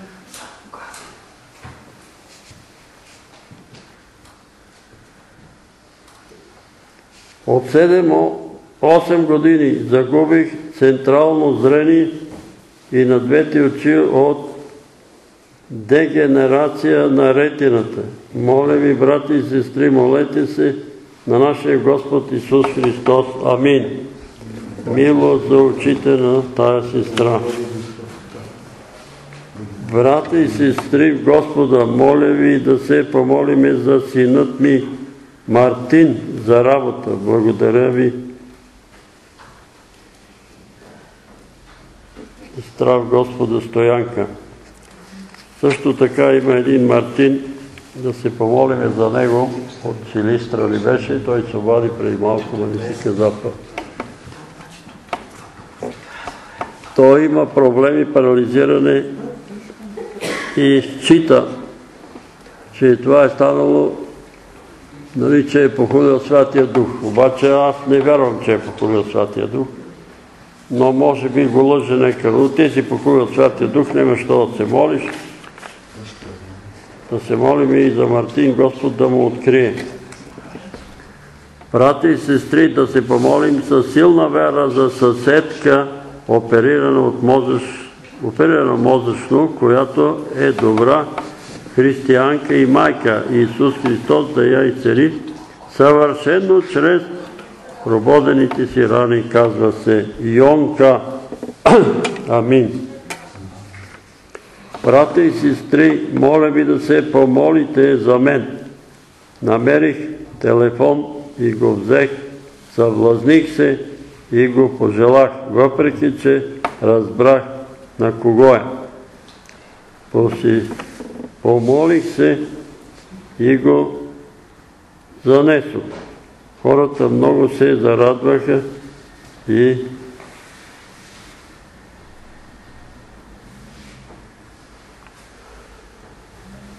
и благодариха. О, молете се за мен, защото се греших с пожеланието Господ да ви прости.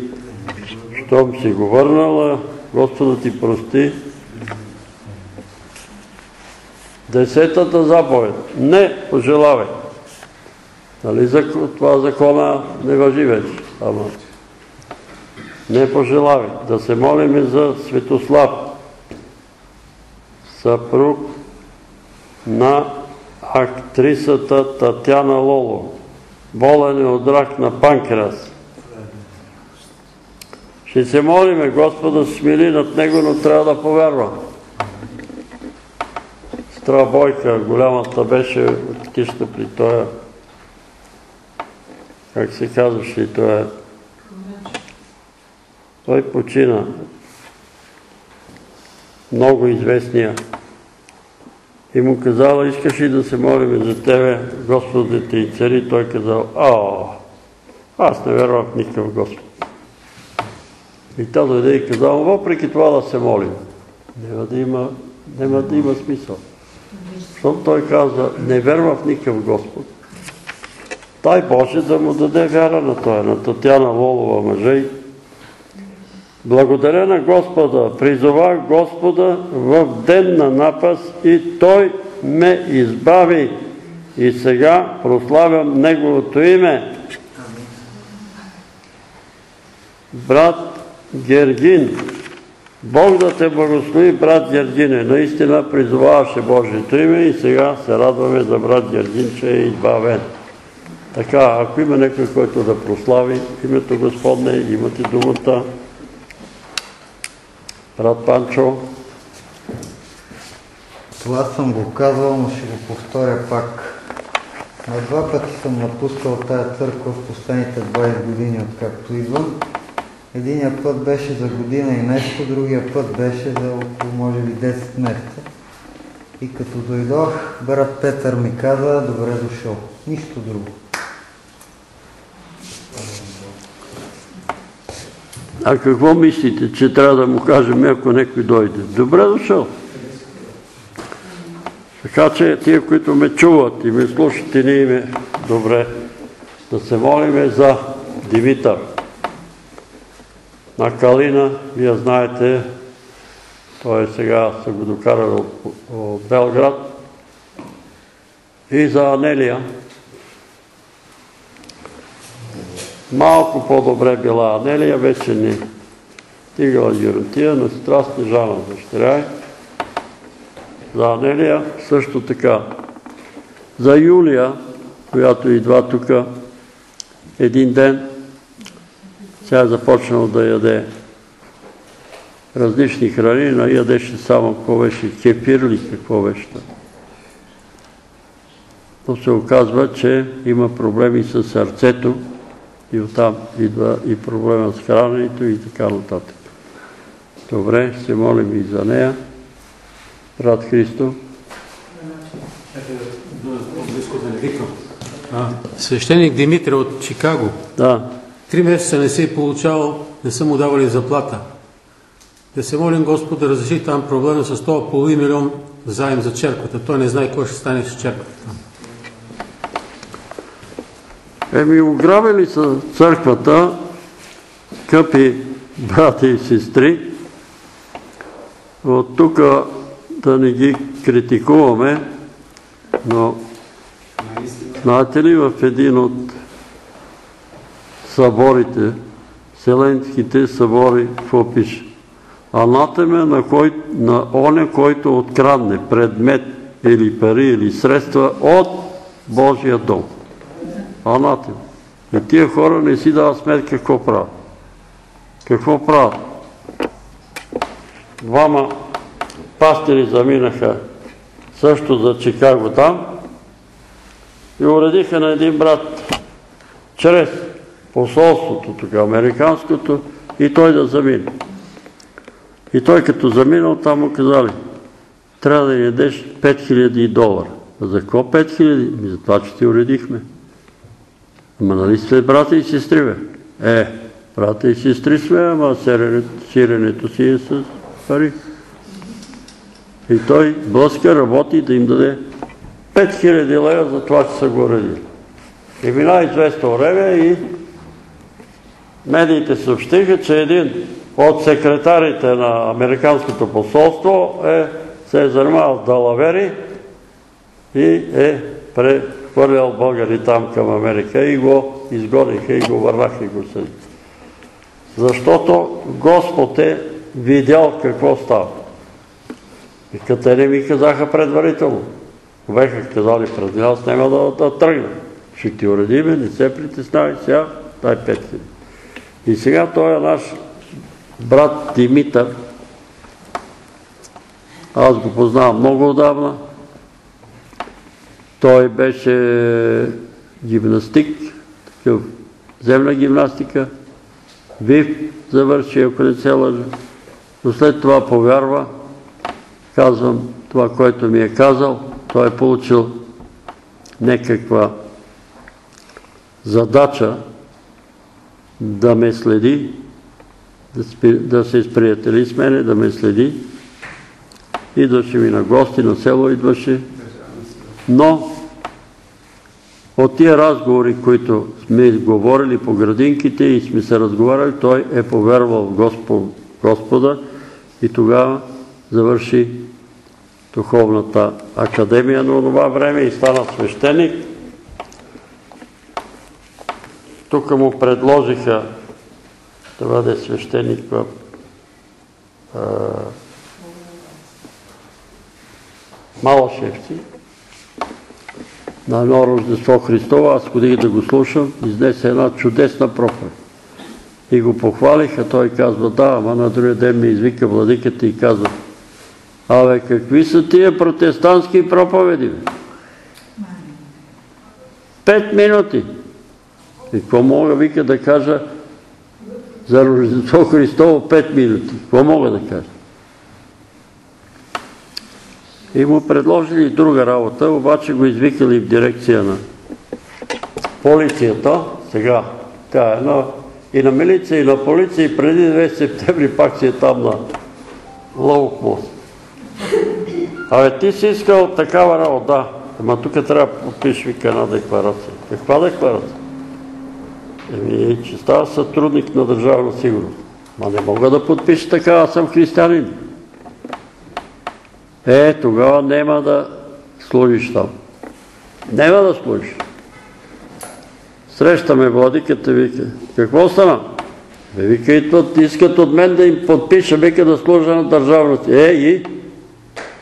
Вика, как ще подпиша, аз съм свещеник. Абе, а не се прави на лудва, ние всички сме подписани. Чувате ли? Сега той ще ми чуе там. И той избега в Америка там, мина към Американската църква, те му направиха. Обаче го пратиха в някакво малко градче, където няма православни християни. Американците са евангелисти и такива католици. И много малък доход, макар че църквата му плащаше издръжката на сина му. Той мисля, че следва ли. Аз го познавам като дете. И заплата. Но след това го поагитираха да се върне към Българската православна църква в Чикаго и църквата е ограбена и са вземали колко каза брат Христо? Каза, че към 470 хиляди долара. Хиляди долара. Близо половин милион. Имате връща.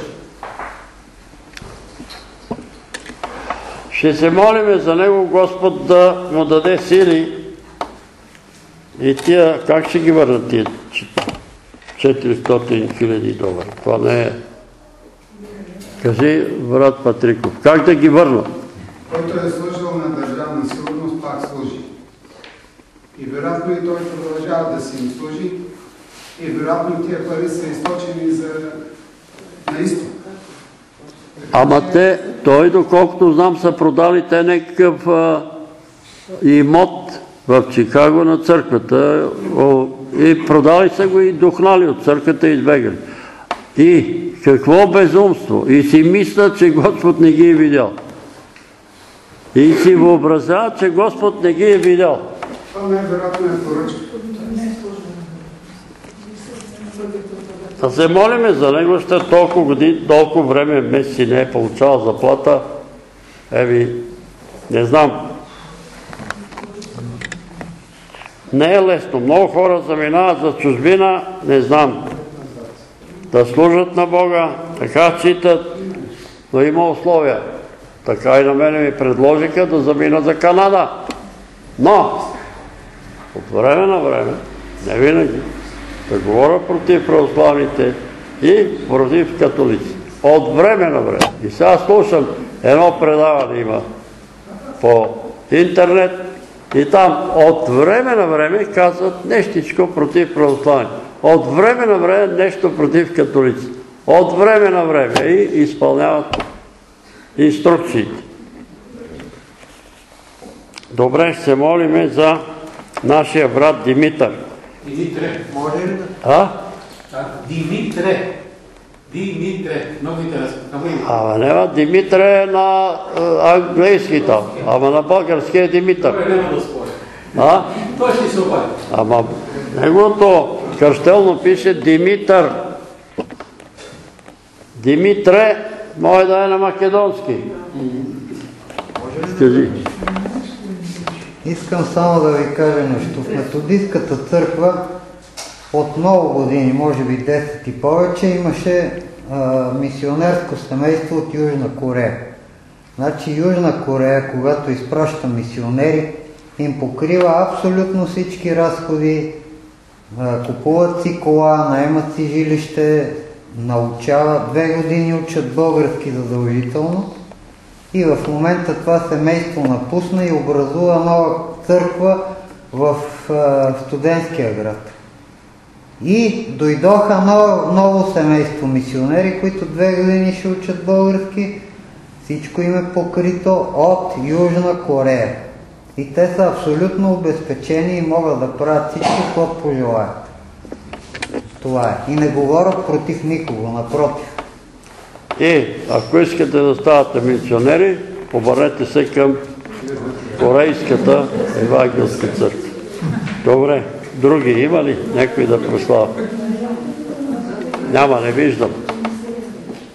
Нямат други нужди да се изправи. А, тук за Йордан, да, виждам. Брат Димитър Янчев, за очите след операциите... Операцията е сполучлива. Господ да му даде добро зрение.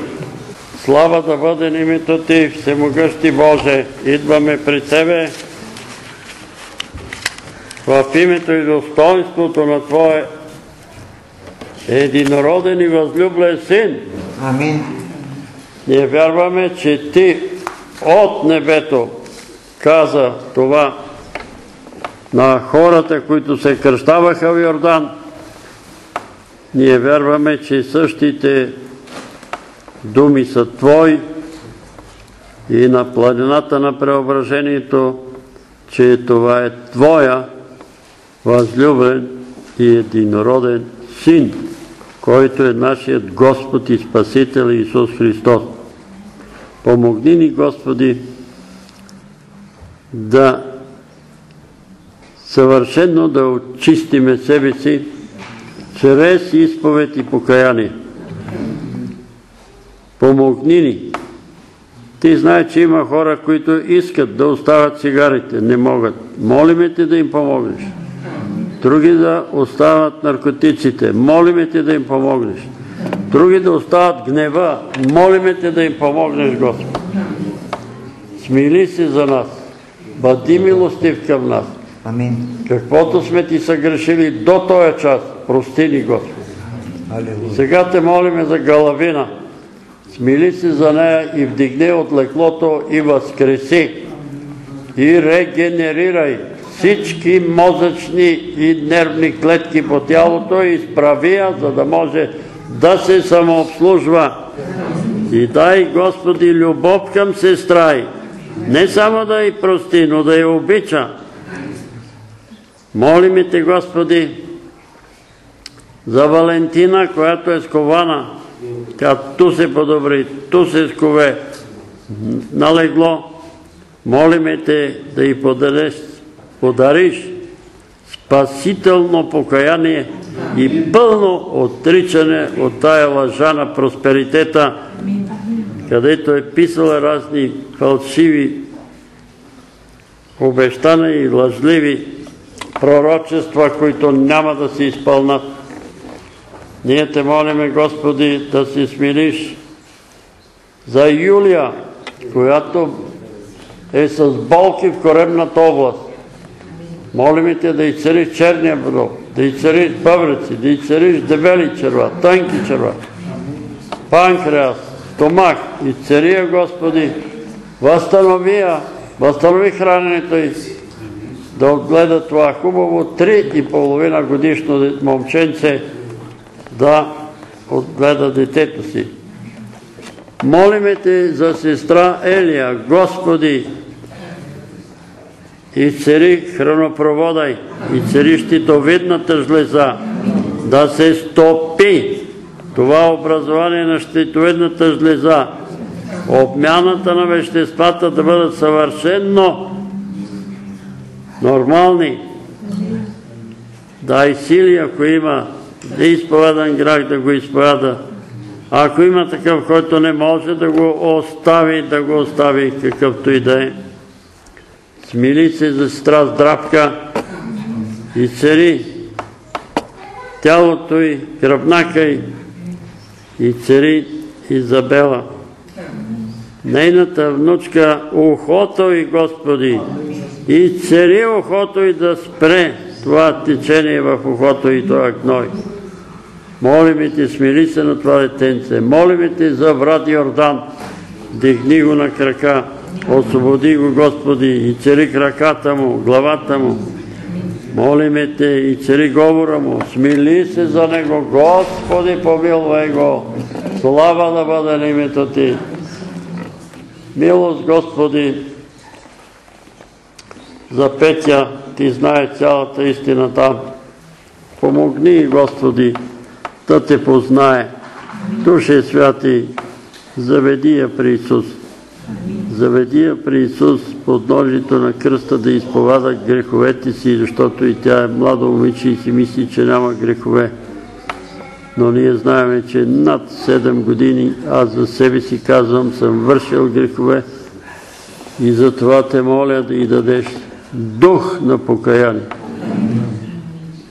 Молиме те за брат Христо и неговите проблеми, за брат Димитър и дома му, за сестра Розалия и Кристина. Развържи Кристина, освободи Кристина, Господи, за това демон, този дявол, който я измъчва и я тормози.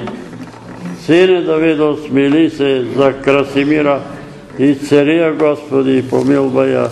Молиме те за двете сестри. Емилия и Кристина за баща и Николай за майка й.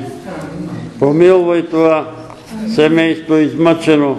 Смили се за това семейство. Господи, милост за тия деца. Милост за тия деца, Господи. Молиме Те за тази сестра Ангина, Агналие, Агна. Загубила е централното зрение. Ти си мощен и силен да и цари с очите, както на Вартимей. Да регенерираш и възстановиш ретината. Молиме Те, докосни се до нея, Господи, и тя ще прослави името Ти. Молиме Те за този човек, Христо и Галина, Дай им сили и твърдост и решение да узаконят брака си. Ето, дете имат, а са не узаконени и са под проклетия.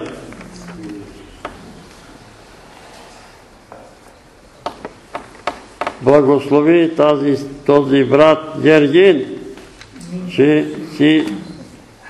ти принася жертва на, хвала, на хвала.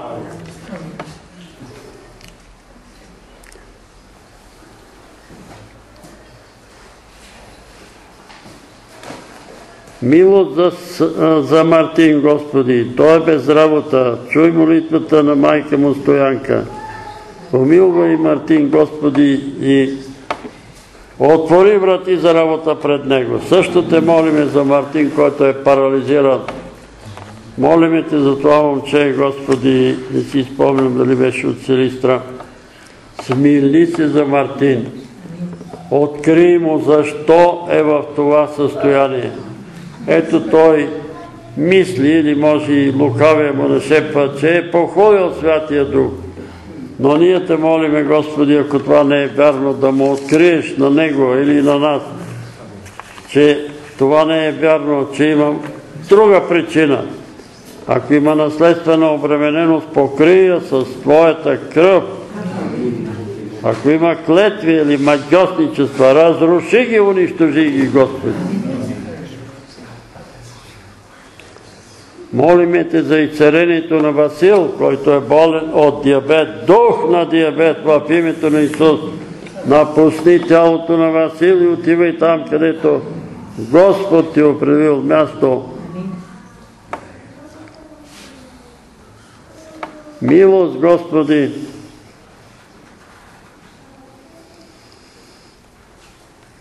за сестра Стоянка има световъртещ и шум в ушите, а и главоболия. Душе глухи, В името на Отец, Син и Светия Дух ти заповядваме, напусни ухото на страст стоянка. Вън, отивай там, където Бог ти е определил място. Напусни ушите. В името на Исус, Господи и цари, и премахни главоболието. И цари главата. Господи, смири се.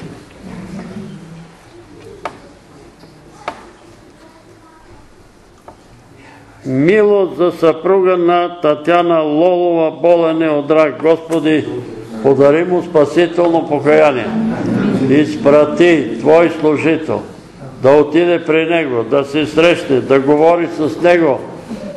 Господи, аз вярвам, че няма човек на планетата, при който Ти да не си отишъл, но мнозина не те приемат, не те чуват, дори и в пресмъртния си час. Затова те молиме, прати ангела си при него, прати служителя си, Господи, и ако той повярва и приеме и цари го, за да се прослави името Ти, унищожи този рак. Разруши делата на дявола.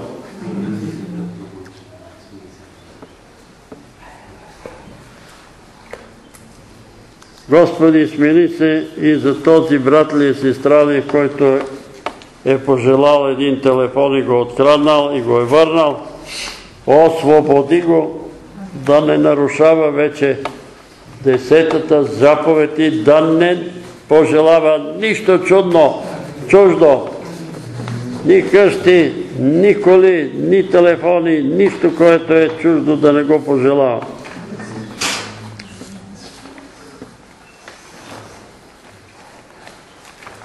Милост, Господи, за оперираната мозъчно, която е добра христанка, тук пише сестра Йонка, смили се за нея. Исус се помилва и тази жена. Операцията да мине сполучливо, да няма никакви осложнения и тя да бъде изцерена за Божия слава. Господи, молиме Те отново за здравка, за проблемите, болките в коремната област, болки в кръста. Ремахни и главоболието, което от време на време се появява. Особено сутрин, когато се събужда, дай мир и спокойствие. Молиме Те, Господи, за свещеник Стефан и цери крака му и дай откровение за него дали да се оперира крака. Промисли и за квартира да намери подходяща за него квартира. Смили се за този наш брат. Да се помолим на Бога за дядо Петър, Господ да му даде пълно душеспасително покаяние. Благодарим Ти, че Ти си му подарил дълъг живот. Подарим и спасително покаяние. Милост за сестра Русица, Господи, смили се за подходяща работа. Ето тя иска според волята ти да работи, смили се за нея. Милост за брат Виктор от Видин, Господи, не знаеме какво е болен, но те молиме да го и цариш. Ти знаеш. Смили се за него, помилвай го, Господи, и църквата във Видин. Молиме те за Парижка, която ти и цари от рак. Укрепи здравето и силите и утвърди я във вярата. Молиме те за Веселин, да го утвърдиш във вярата. И съвършено изцерение. Има засегната лява ръка и ляв крак. Благодариме на Господа. Господи, и цари го, ние сме свидетели как и цари. Няколко души от инсулт, нека и той да бъде между изцерените. И сега те молиме, мини от глава на глава, души на истината, святи душе, мири от глава на глава и от сърце на сърце. И изпълни ни с присъствието си В името на Господ Исус Христос, с силата на изцерението в Неговите рани, молиме Те да изцеряваш и да превързваш раните ни. Изцери и премахни всякакво главоболие. Изцери очи, изцерявай уши, Да, Господи. изцерявай носоглътки, Амин. изцерявай аорти, Алелуя. изцерявай сърца, Да, Господи. изцерявай хранопроводи, Амин. изцерявай трахеи, Алелуя. изцерявай бели дробове, Амин. изцерявай черни дробове, Милост, изцерявай жлъчки, Да, Господи. Изцерявай бъбреци, Да, Господи. изцерявай генитали, Да, Господи. изцерявай кости, Слава на Бога. изцерявай стави, Господи, Алелуя. изцерявай кожни заболявания, изцерявай мускулни заболявания, Да, Господи. освобождавай от кокс артрози, Алелуя. слава да бъде на името Ти, Алилуя! Алилуя! Молиме Те, Господи, ос- освобождавай насилваните от дявола. Развързвай насилваните от дявола и освобождавай обладани. Освобождавай натоварени демонично.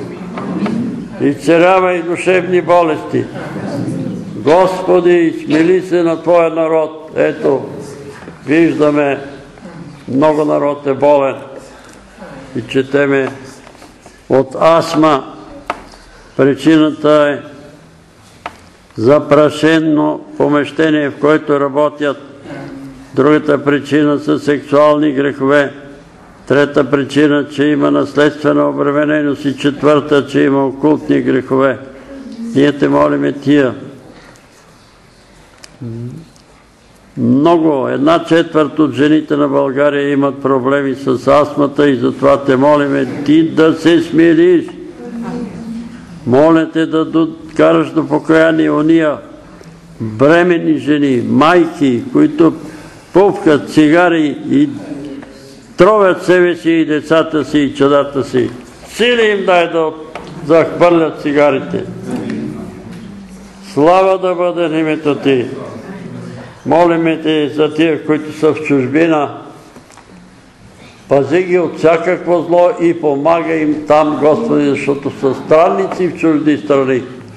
И сега те молиме за този свещеник Димитър, той е Твой служител. Много е ревностен, знае много, чете много, но ето сега, Господи, се намира в трудно материално състояние. Неколко месеци не е взимал заплати. И ние те молиме да го благословиш материално. Него, съпругата му, Останка, сина му Кирил, Господи, благослови ги и помилвай ги. Смилни се за тях, Господи. Милост покажи за тия хора, които са в отеснение. Милост за мисионерите по целия свят. Милост за тия семейства, които са дошли от Южна Корея, употреби ги за благословени на България. Благослови Господи уния, които печатат Библии и ги разпространяват, нови завети и ги разпространяват, духовна литература и я разпространяват. Сили им давай, благославяй ги материално и духовно, за да може нашия народ да бъде просветен. Всички уния, които разпръскват духовна просвета сред нашия народ, Пази ги да бъдат живи и здрави. Пази ги от настинки, от заболяване, от препъване, от падане, от автомобилни катастрофи. Милост за тия, които пътуват по пътищата, милост за тия, които пътуват по море, по въздух. Помогни им да стигнат живи и здрави. Моля те за дъщерите на брат Йордан, които се притесняват да пътуват. Мир и радост дай в душите им. Молиме те за сестра Снежана, Господи, чуй молитвите и за Анелия. Развържи Анелия, освободи от този дявол, който я лъже. Освободи от дух на страх и на притеснение. Милост за Димитър, Господи, бащата на Калина, смили се за него, помилвай го и цари го, възстанови го, Господи на силите. Сине Давидов, отново те молиме, мили от глава на глава. Молиме те за този брат, който има проблем с, има дископатия. Докосни се до него, докосни се до него и цари го, Господи. Смили се за него, мини от темето на главата му до петите му и нормализирай функциите на гръбначната, гръбначния стълб, ако има притиснати дискове, освободи ги, Душе Святи. Ако има притиснати нерви, освободи ги, Душе Святи. В името на Исус те молим. Слава да бъде името Ти, благодарим Ти. Помилвай ни сега, благослови ни, изцери ни, утеши ни и насърчи ни, Господи. Милост за уния, които са наскърбени. Милост за уния, които са в потеснения, които ги преследват, гонат и хулят. Милост за тия, които пътуват. Слава да бъде името Ти. И сега всички заедно желаем да Ти се помолиме с молитвата, с която Твоя син ни е научил да се молим. И като се молиме да казваме Отче наш, който си на небесата, да се святи името Твое, да дойде царството Твое, да бъде волята Твоя, както на небето, така и на земята. Хлябът наш насъщи, дай го нам днес и прости ни дълговете наши, както и ние прощаваме на нашите длъжници. И не ни въвеждай в изкушение, но и избави нас от лукавия, защото е Твое царството и силата и славата во веки веков. Амин. Вярвам в един Бог Отец, Съдържител Творец на небето и земята, на всичко видимо и невидимо, и в един Господ Исус Христос, Сина Божия, единородният, който е роден от Отца преди всички векове, светлина от светлина, Бог истинен от Бог истинен, роден, несътворен, единосъщен с Отца, и чрез когото всичко е станало, който заради нас, човеците, и заради нашето спасение, слезе от небесата и се въплати от Дух Свети. И Дева Мария и стана човек и бе раснат за нас при Понтия Пилата. И страда и бе погребан и възкръсна в третия ден според Писанията и се възнесе на небесата и седи отясно на Отца и пак ще дойде със слава да съди живи и мъртви и царството му не ще има край. И Дух Свети, Господа, животворящия, който от Отца изхожда, комуто се покланяме и го славяме, наравно с Отца и Сина, и който е говорил чрез пророците в една свята, вселенска и апостолска църква, изповядвам едно кръщение за опрощаване на греховете. Чакам възкресение на мъртвите и живот в бъдещия век. Амин. молиме Те, Всемогъщи Боже, смили се над нас, погледни, Отче свати и праведни, през кръвта на Исус, всички нас и тези дрехи и освети ги с присъствието си, Амин. освети и людите, които ще ги приемат. Да, И Господи. те молиме, Господи, да бъдат и царени, да бъдат насърчени, да бъдат пок- доведени на спасително покаяние и спасени на душите и царени на телата. Освети тези дрехи, Господи. Слава да бъде на името Ти. Бъди милостив към измъчваните, към страдащите. Освети тези дрехи. И сега, като се съединяваме с Божия Дух и в името на Господ Исус Христос и тялото Христово, Ти заповядваме. Болестни духове, заповядваме ви да напуснете телата, душите и духовете на хората, които ще облечат, ще се докоснат до тези осветени дрехи. В името на Исус, магиоснически духове, разпраснете се, отивайте там, където Бог ви определил място. В раните на Исус да бъдат изцелени тия хора. Амин. За Галабина за момент видях някаква грамадна така вълна, застинала черно. Черно. Да, все едно морето там има грамадна така застинала вълна. За внучка Ивелина. Как се казва? Изабела. Изабела. Изабела ли? За внучката. Да. А, кръстовище някакъв път, виждам знака стоп.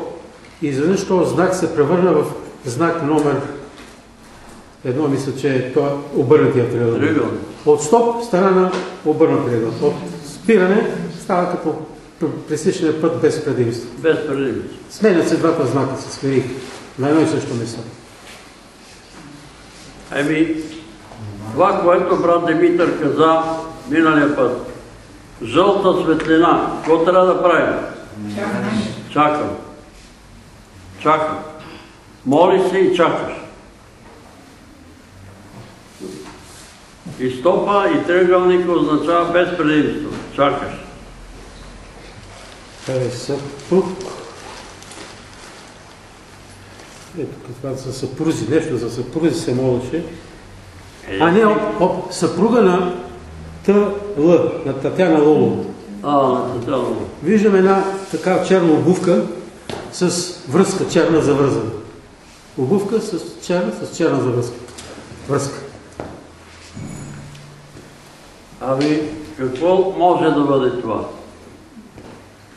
Черно благовестие. Много често ние самите пърскаме плевали по нивите и после идва време да ги берем. Не го познаваме човека, молиме си, дай Боже Господ да му подари покаяние. Независимо кой е, на Татяна Лово и на други, защото те, той е целият там театър, знаете какво представлява? Смехори. И много често тия смехори са присмивателство, подигравки с хората.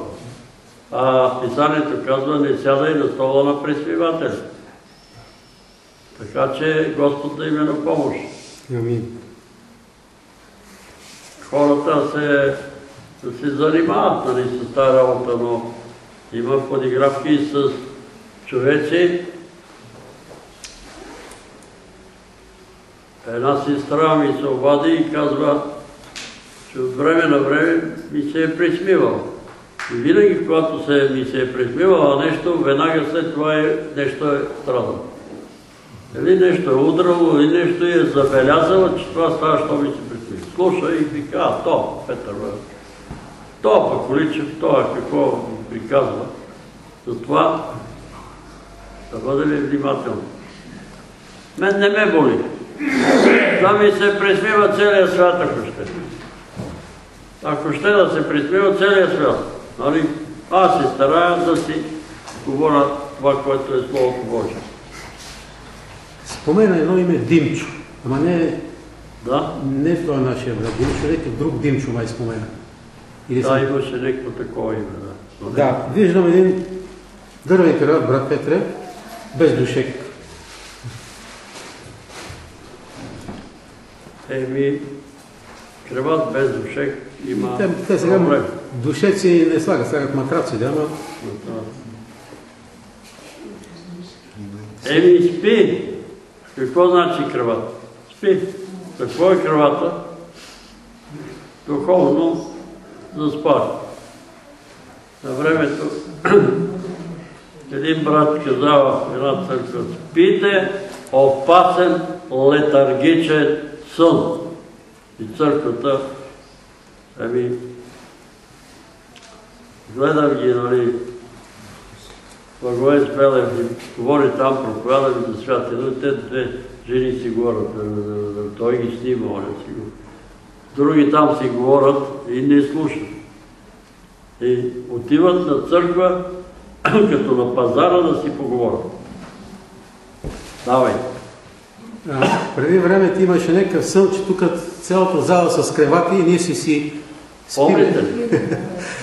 А, а само аз, това не, е от гордост. Съм, Е, е, и аз съм се легнал. И аз съм се легнал, ама нещо си е чета. буден. И още един имаше, който беше буден и на кревата.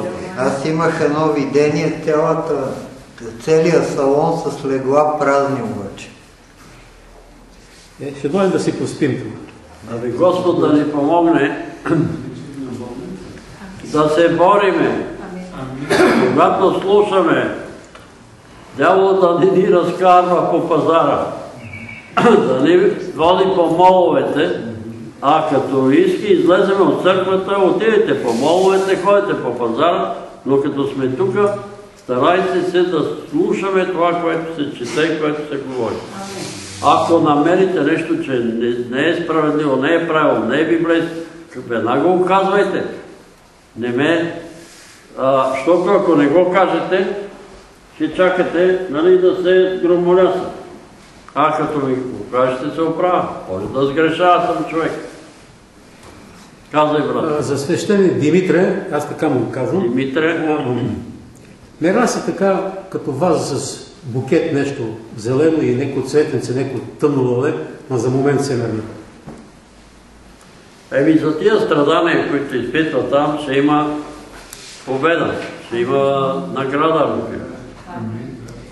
За Анелия, Да, знаеш, че пчеларите имат един инструмент, казва се пушачка. да. Е, такова нещо виждам. Ами трябва да мине някакъв пушек там да изгони тия оси. Те не за пчелия са оси. Обаче тия оси са болестни духове. И нещо трябва да се молим по-усърдно за този дом и за нея, защото има опасност. Добре, и ти ли виждам патриарх Максим облечен в тържествени одежди за намерение. за нея? Да, А не ли? патриарх Максим. Е, не трябва. Максим, Бог да го прости, той си е Това вижда, това казва. заминал. Но може би е символично. Може да се е молил за болни много.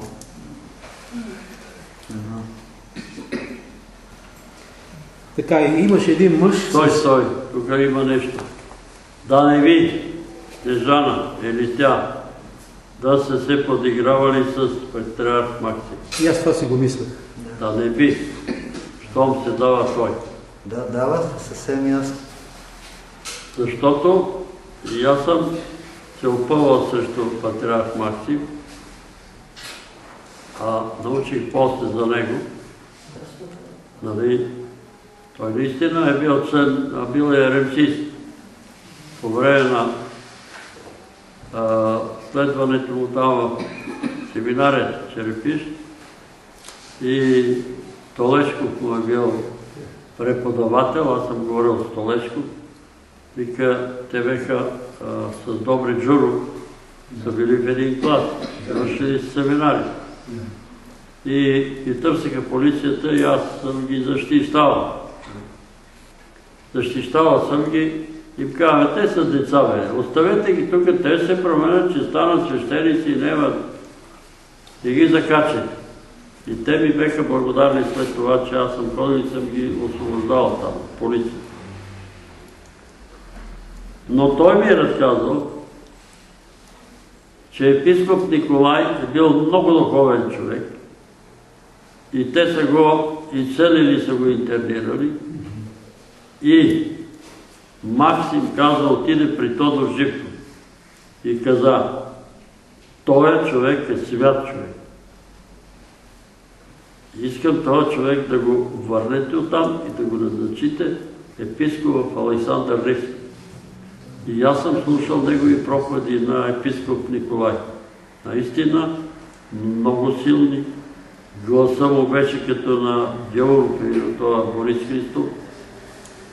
Много беше такъв, имаше много глас. И съм свидетел пък на нещо, което видях тогава, като слизаше по столите, това, което брат Личе вярва ли не вярва, кръстен е не кръстен, ама не ни занимава. Той слиза по столите на Александър Невски и една жена му казва, дядо Николай, моля ти се, моли си за моя син. На колко години? Ми на 20 и не знам колко. Кръстен ли? Не. Вярва ли Бог? Не. Нема смисъл си. Ама ти ако се помолиш, ама нема да стане бе. Не е кръстен, не вярва и молете се Бог да го изчели. Ми няма да стане бе, сестро. Разбирате? Ето аз това съм. Но стана въпрос за, това нема, не трябва да съди никой. Ни патраш Максим, ни патраш Неопит, ни, никой. Ни папа, ни патриарх. Защото не знаеме. Не знаеме те при изпитания са минали, какво е било, що е било. И така. Добре. И за един мъж, който с зрение някакъв централен ред, нещо Да. сложен. Между другото, тази болест води до, до пълна слепота. Какво? А, Това, загубата на централно зрение или дегенерация на макулата води до пълна слепота накрая. То води по, по твоята теория, но по Божията теория къде води? Е, За това трябва да се молиме, но Да, не, казвам, това е опасно е, да вземе мерки. е. И да взима мерки, да не се оставя. Обаче Бартимей, какво беше там? Очите му какви беше? Нищо не виждаш. Какво искаш? Да прогледам. Прогледай. Ама преди това колко пъти викаш? Те му се кара... Исусе, сине Давидов, помилвай ме. Мутвай бе! А той не мълчеше. Ами ви сега, ние се молихме за Димитър, молихме се Господ да го изцели. Нали, аз не знам, той пердели имаше. нали? Димитър Ярчев, Не знам. пердета, пердета. пердета. Еви, ние сме свидетели на сестра Здравка, пердетата, тя е покойна. Сега Господ ги махна. На сестра Катя от Пловдив, Господ махна пердета. Обаче ние се молиме. Обаче не зависи от тия, дето искат, а от тия, дето дава. От той, който дава, от него зависи. И някои хора, ето, с операциите и лекарите са. Сега на мене преди 20 години ми казаха, че имам пердет и трябва да я да се оперирам. Преди 20 години, когато си вадих очилата за колата. О, ти имаш пердета на... А, и на друг. Е, ще дам една бележка да идеш в очна клиника. А, не, не, викам, няма очи. Защо? Ама защото от време на време аз виждам без очила и чета без очила. Какви пердета? Може да има някакви пердета от некъде. Ма ако отида там на тия пердета, няколко сестри, знаете какво са на тях? Сестра Мария Кожухарова, сестра Нора, голямата Нора. Какво стана с тия пердета? Ослепяха. Така че има риск. И ако не е толкова зор за това, тая операция, а те хората сега, масово, давай да те оперираме, давай да те оперираме. Брат Петър, исках да кажа този, какво виждам. Виждам една хубава цъфнала пита слънчоглед. За човека. Да. Ами, слънчогледа, какво значи? Какво прави слънчогледа? Гледа към слънцето. Затова се казва слънчоглед. И винаги гледа към слънцето. И той трябва да гледа към Бога и тогава очите му ще се оправят. Но само към Бога. Да гледа към слънцето на правдата и така.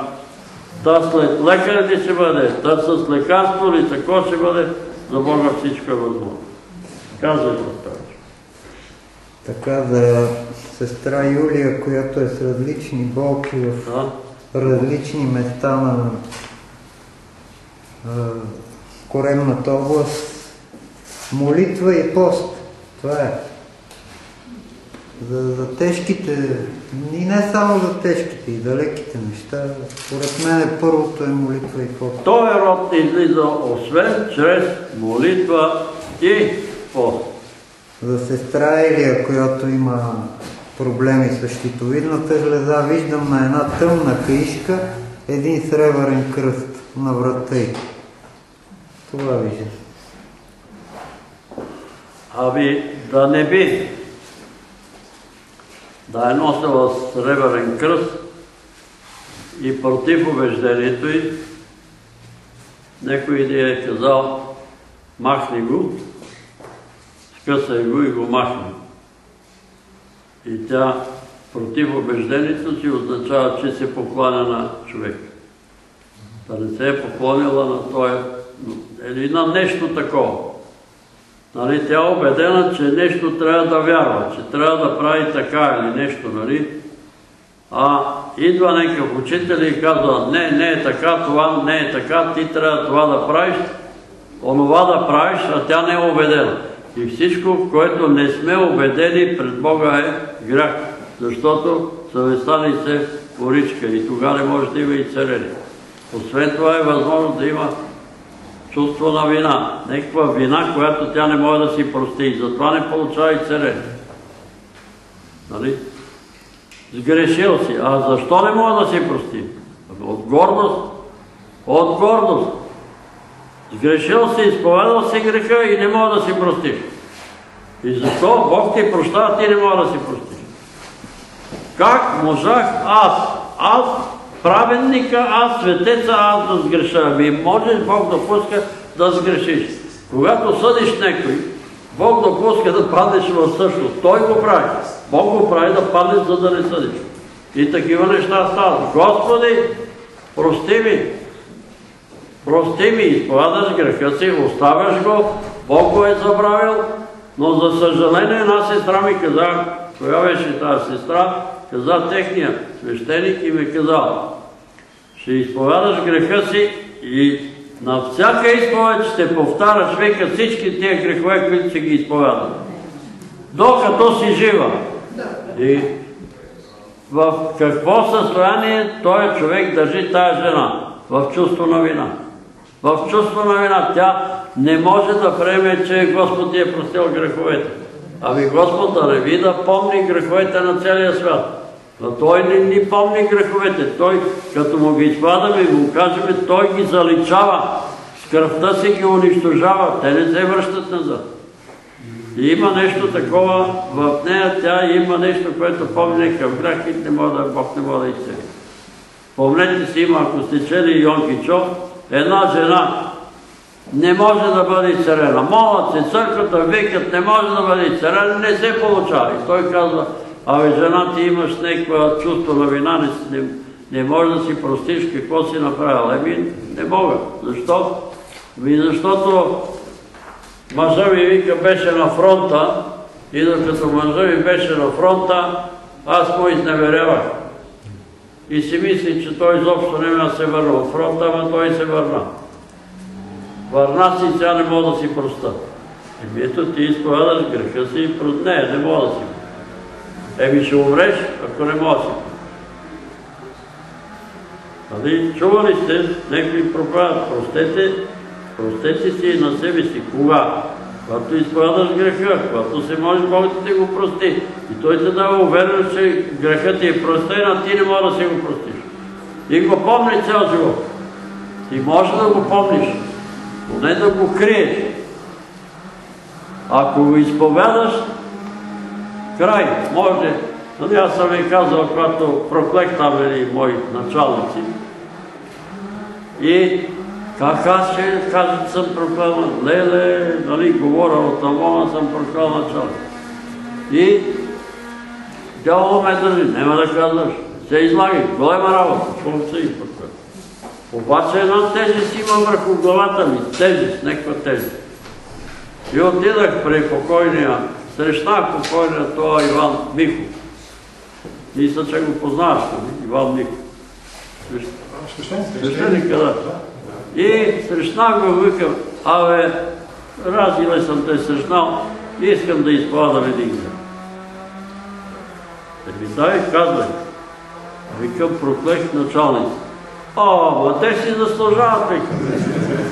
Обаче в момента, когато казах, проклех срещу това, Товара се свали. И сега хиляди пъти мога да го кажа това.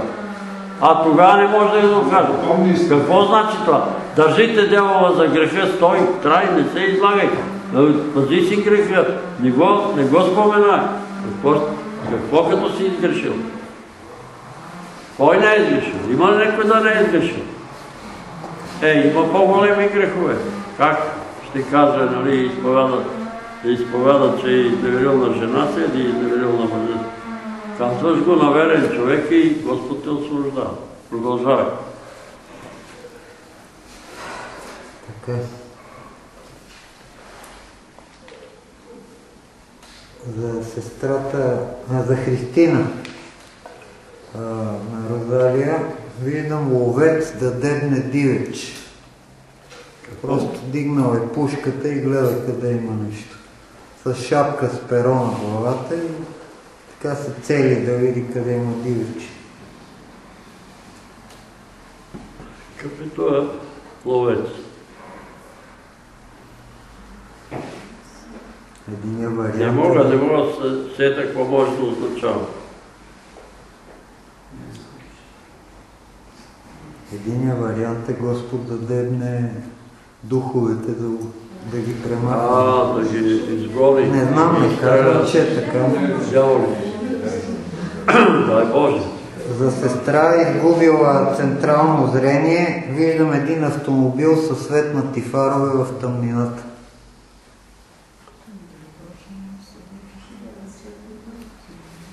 За Мартин, без работа.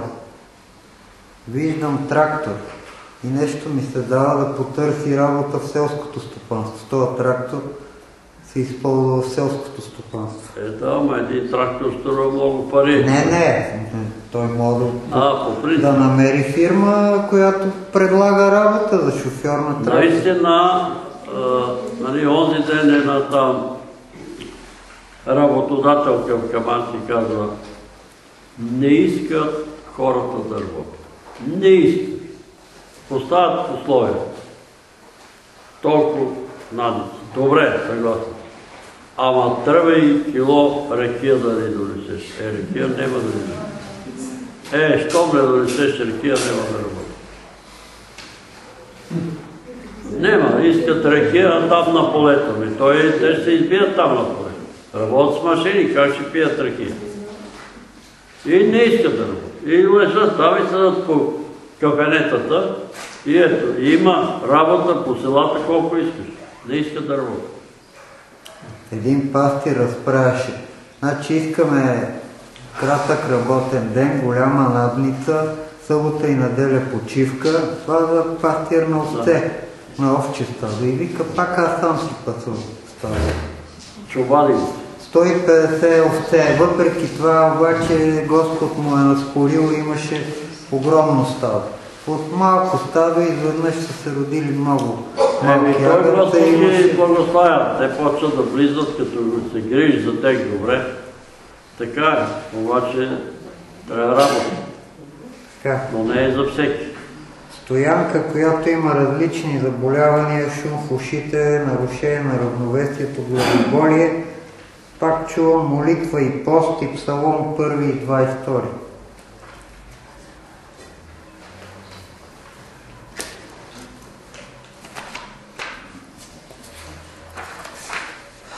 Така. За здравка.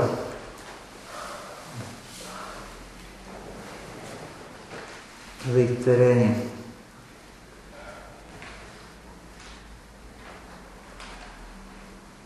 А, теглилка, медицинска теглилка, обаче е паднала на една страна. Теглилката. Не е балансирана. Не знам. Вярата и съмнение. Да не те съмняваш. Повече вяра. Когато нямаш вяра, придай ми вяра, Господи. Придай ми вяра.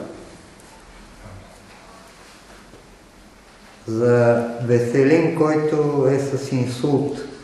Да прослави Господа, че е жив, защото има много хора, които ги удря инсулта и умират моментално. Може би при него е по-бавен процес. За изцерение на различни болести. Ти спомена много болести. Значи червен надпис, мирен договор с удивително свети. От време на време прочитайте го този мирен договор. И ще видите, че ни има на много места. И като се намериш некъде, Господи, прости ми, ето това съм се грешил, моля те прости ми този грех, съжалявам. Така, за жени, които имат астма, виждам отворена котия цигари БТ. Вече ги няма, това виждам. Едно време ги имаш. Имаше.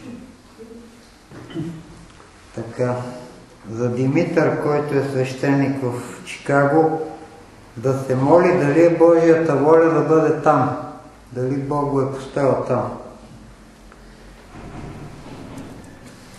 Еми той ми разказа, че е бил в Нью Йорк и е започнали много хора да идват в църквата, напълнила се е църквата, започнали се да го канат, да освещават домовете си, да кръщават децата си, да ги венчават, да ходят. Но напълнила се е църквата, но на него не му е харесало начина по който са служили там, защото а, църквата е върху ресторант. И като свърши църквата на обед, от църквата хората в ресторанта отдолу. Българите. И естествено те почват да може би и църквата е давала бедни хора ресторанта. Обаче от време на време вика се напият и почват да се карат и стигат и до Божия. И така се е, при, се е измъчвал там. Той е проповядвал и не знам кой е бил на времето американския митрополит и го е извикал и му казал какви са тия проповеди тук. Кой има да им говориш? 5-6 минути и край. 5-6 минути и толкова. Какво мога да кажа? Значи те са същите. В Малашевци искат 5 минути. В Америка, в Нью пак 5 минути. Не можеш 5 минути, какво ще кажеш на хората? И тогава той се прехвърли към Американската православна църква и там са му казали, проповядва, ако ще ден и нощи. Нали? Но в едно малко граче, там и нема православни хора, малко са в грачето, повече са евангелски християни, католици. И българите му предлагат отново, ела тук в Чикаго, ще дадем заплата, ще дадем и ето го пак на 5-6 месеца е без заплата. Какво да правим? Тия наши български нрави. Освен да се молим за него и толкова. Дали е Божията воля да се върне към американската или някоя друга православа или гръцката, те са по-богати, но той трябва да знае гръцки език. И за дрехите виждам един венец, така както е амвона, както бяха сложени дрехите, около дрехите един венец от светли цветя и зеленина. Господ благославя и освещава дрехите. Приемете ги с вяра. Приемете ги с вяра. Сега а, ще се помолим и за това брат има проблеми. Аз ще слезна и ви моля да се а, молиме Жоро да ни заведеш при Анелия и при Калина. Дали знаеш къде са? Ние ще отидеме да се молиме за Анелия и за Калина. Искам да ви кажа, че трагедията беше много голяма. Денонощно Анелия пищи и вика страх ме. Страх ме, страх ме, страх ме, страх ме, денонощно. И Калина, която живее на същия етаж, но на среща в апартамента, вика, аз чувах цели нощи как крещи. Ние ходихме там, тя не иска да се моли. Отиде в другата стая. Поседехме, молихме се, обаче Калина ми се обади, каза, спре да вика, спре да крещи. Трябва да ви кажа, че така беше с Павел. Не искаше да се молим. Заключи с една стая. Ние отидахме, молихме се. Следващия път се съгласи да се молим. Третия път излезна с нас в градинката, ходихме да се почерпим и по една кола нещо и започна да идва. Тук сега ходи сигурно некъде на църква, ама не знам къде. Нали спре да идва. Не, не, знаеме къде. Сигурно ходи на друго место. Така че ние ще се молим, ще отидеме сега да се молиме за тия и за Димитър, който е в тежко състояние. Вие ще имайте ни в молитвата и слушайте тук това, което брат Димитър ще ви проповядва, но да се помолиме за този човек, защото има проблем. Тежести. Брат Димитър, ако обичате да го помолите. Тя воле. В името на Отцата и Светия Дух и заповядваме да напуснеш тялото на този наш брат. Напусни гърначния стълб. Освободи дисковете по гърначния стълб. Махай се от тялото, духа и душата на този наш брат. Вън от тялото. Отивай там, където Бог те определил място. Нямаш това си дал над него, той е Божия чадо. Неговото тяло, дух и душа принадлежат на Божията църква. Напускай тялото му, освободи кръка му, освободи дисковете в името на Исус. Молимите души смятай и действай върху гръбнашия стоп на този наш брат и освободи го и цели го съвършенно. Господи, помилвай го, изпълвай го със силата си души смятай. В раните на Исус да бъде изцелен, със силата на изцелението на Исусовото име и цели този наш брат. Помилвай го и цели го, Господи, и възстанови го да тича и да слави. Моля те, Господи, действай върху него сега, изпълвай го с присъствието си, с топлината си, оперирай го, Господи, слава да бъде името ти. В Твоите ръце го оставяме, Господи, на силите. Амин, амин, амин.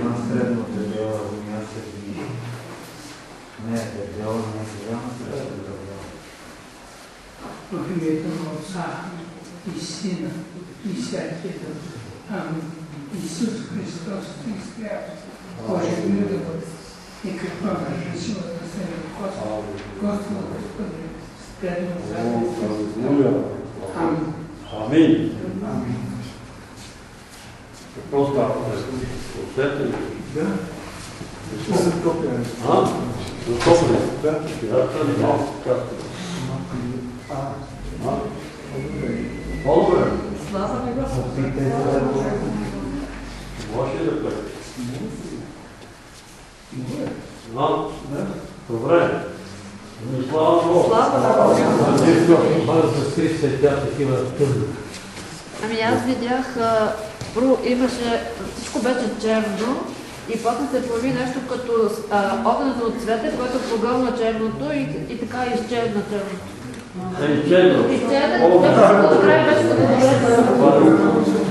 Изпарил. Възможно е тази змия да излезе. Да изфъркал.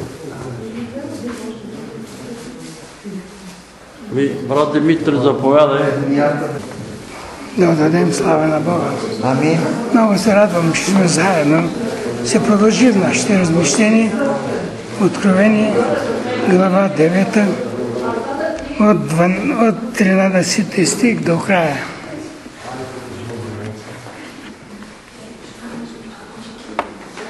И като затръби шестият ангел, чух един глас от роговете на златният олтар, който беше пред Бога, че някой казваше на шестият ангел, когато беше тръбата, развържи четирите ангела, които са вързани при голямата река Ефрат. и развърже, развързаха се четирите ангела, които бяха приготвени за този час и ден, и месец, и година, за да убият третата част от човеците. И числото на воюващите конници беше 200 милиона. Аз чух числото им. И конете в видението и ездещите на тях ми се видяха такива. Те носиха като огнени янцидни и жупелни нагръдници. И главите на конете бяха като глави на лъвове и от устата им излизаше огън, дим и жупел. От тия три язви, от огъня, от дима и от жупела, що излизаше от устата им, биде избита третата част от човеците. Защото силата на конете бе в устата им и в опашките им, понеже опашките им приличаха на змии и имаха глави и с тях повреждаха. И останалите човеци, които не бяха избити от тия язви, не се покаяха от делата на ръцете си, та да не се кланят вече на бесовете и на златните, сребърните, медните, камените и дървените идоли, които не могат нито да виждат, нито да чуят, нито да ходят. Също не се покаха ни от убийствата си, нито от чародеята си, нито от блудството си, нито от кражбите си. Амин.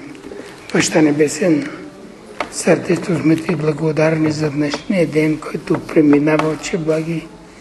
Благодарим ти за тази възможност, която ни даваш да се събираме, да общуваме помежду си, да се радваме на Твоето присъствие, Господи, да се получаваме от Твоето Слово.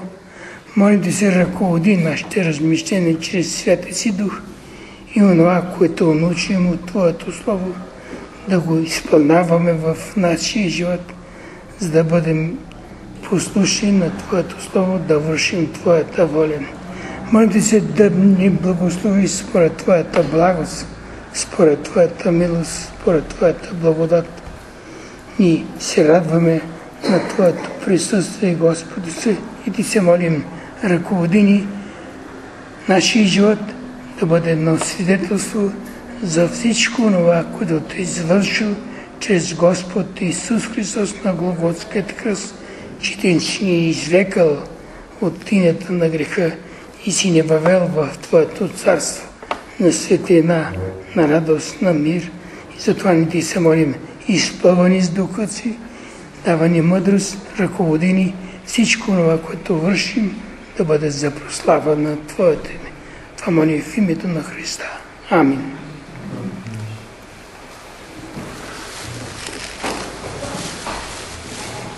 Започва според изявленията на ангела второто горко.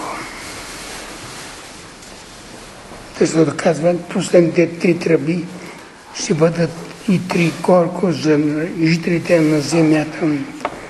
Шестата тръба, това е второто горко.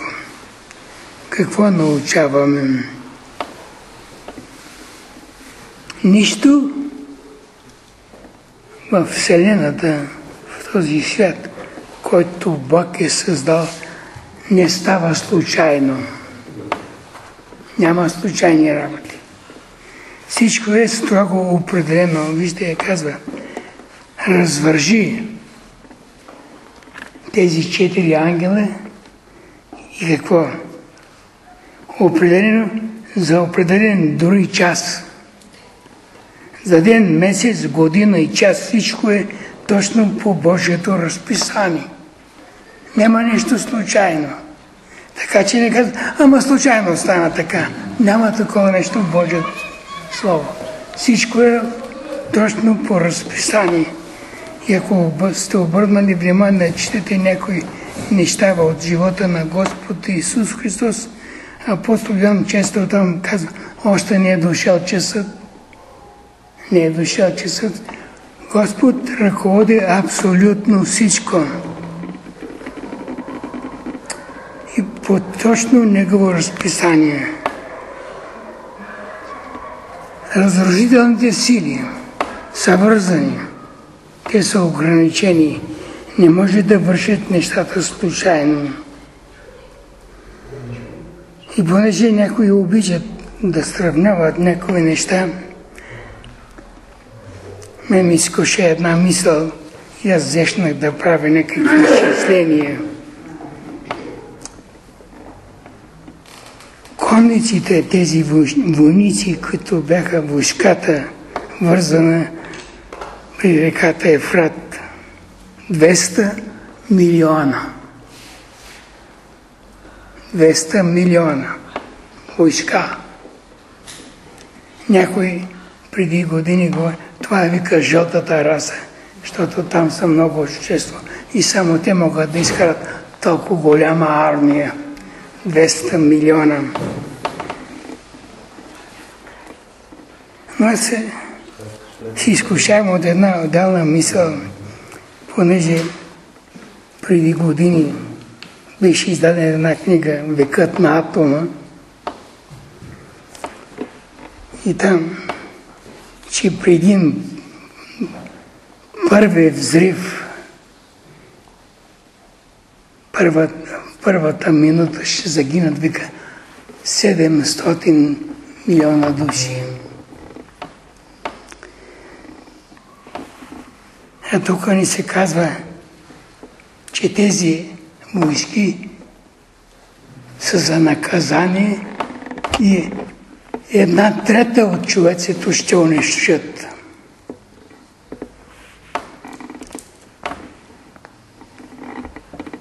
Един атомен взрив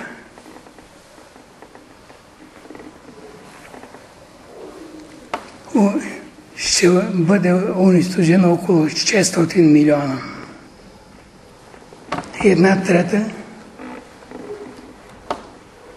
от цялото население на Земята е около 8 милиарда. От тези 8 милиарда една трета е около 3, около 3 милиона, около 3 милиарда. Един взрыв равен на 500 киловата тротил и унищожават към 600 милиона. Четири взрива по 600-240 милиарда. 240 милиона. Всеки взрив по 400 милиона. Имаме около една трета от населението на Земята ще бъде унищожено. Те са пуснати едновременно четирите. Ангела отвързват тези 200 милиона войска и нейното предназначение да унищожи една трета от населението. И се предлага, че сега вече наближаваме към 8 милиарда. И точно тези четири взрива ще унищожат една трета. Около 200, 200 около 2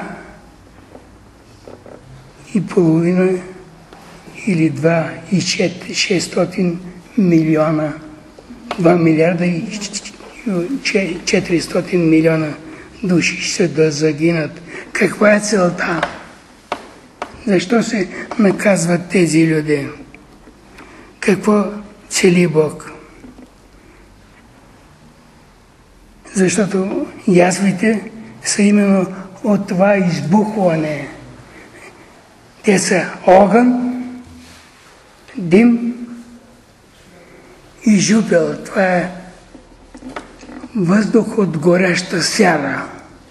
Жупел е сяра, гореща. Отровни и унищожителни газове, които се разпространяват сред тези взривове.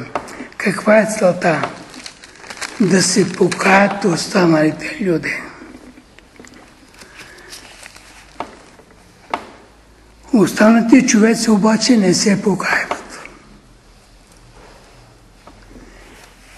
Те се кланят на духове.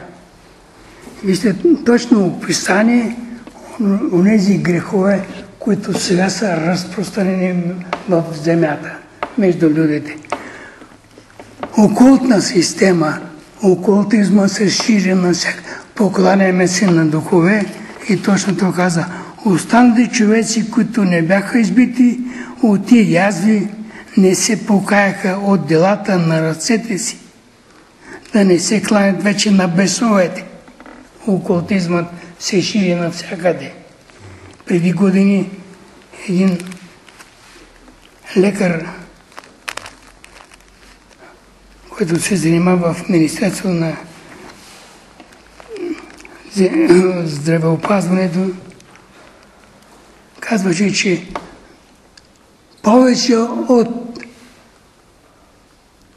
две трети от българите са ходили при врачки и гледачки. Повече от две трети от българите. Не се покаяха да не се покланят на злите духове, не се покаяха да се покланят на делото на ръцете си. Защото тези идоли, които ги съобщава тук, медни, камени, златни, дървени, са дело на човек, човешки. И сега люди се хвалят с това, което са направили с ръцете. Тия ръце вика да са здрави. Ръцете правят неща, които отдалечават човекът от Бога. И тук казват това. Не се покаяха от всичко това. Тези, които, онова, което произвежда човекът, какво казва? Нито вижда, нито чува, нито говори. А човекът му се покланя.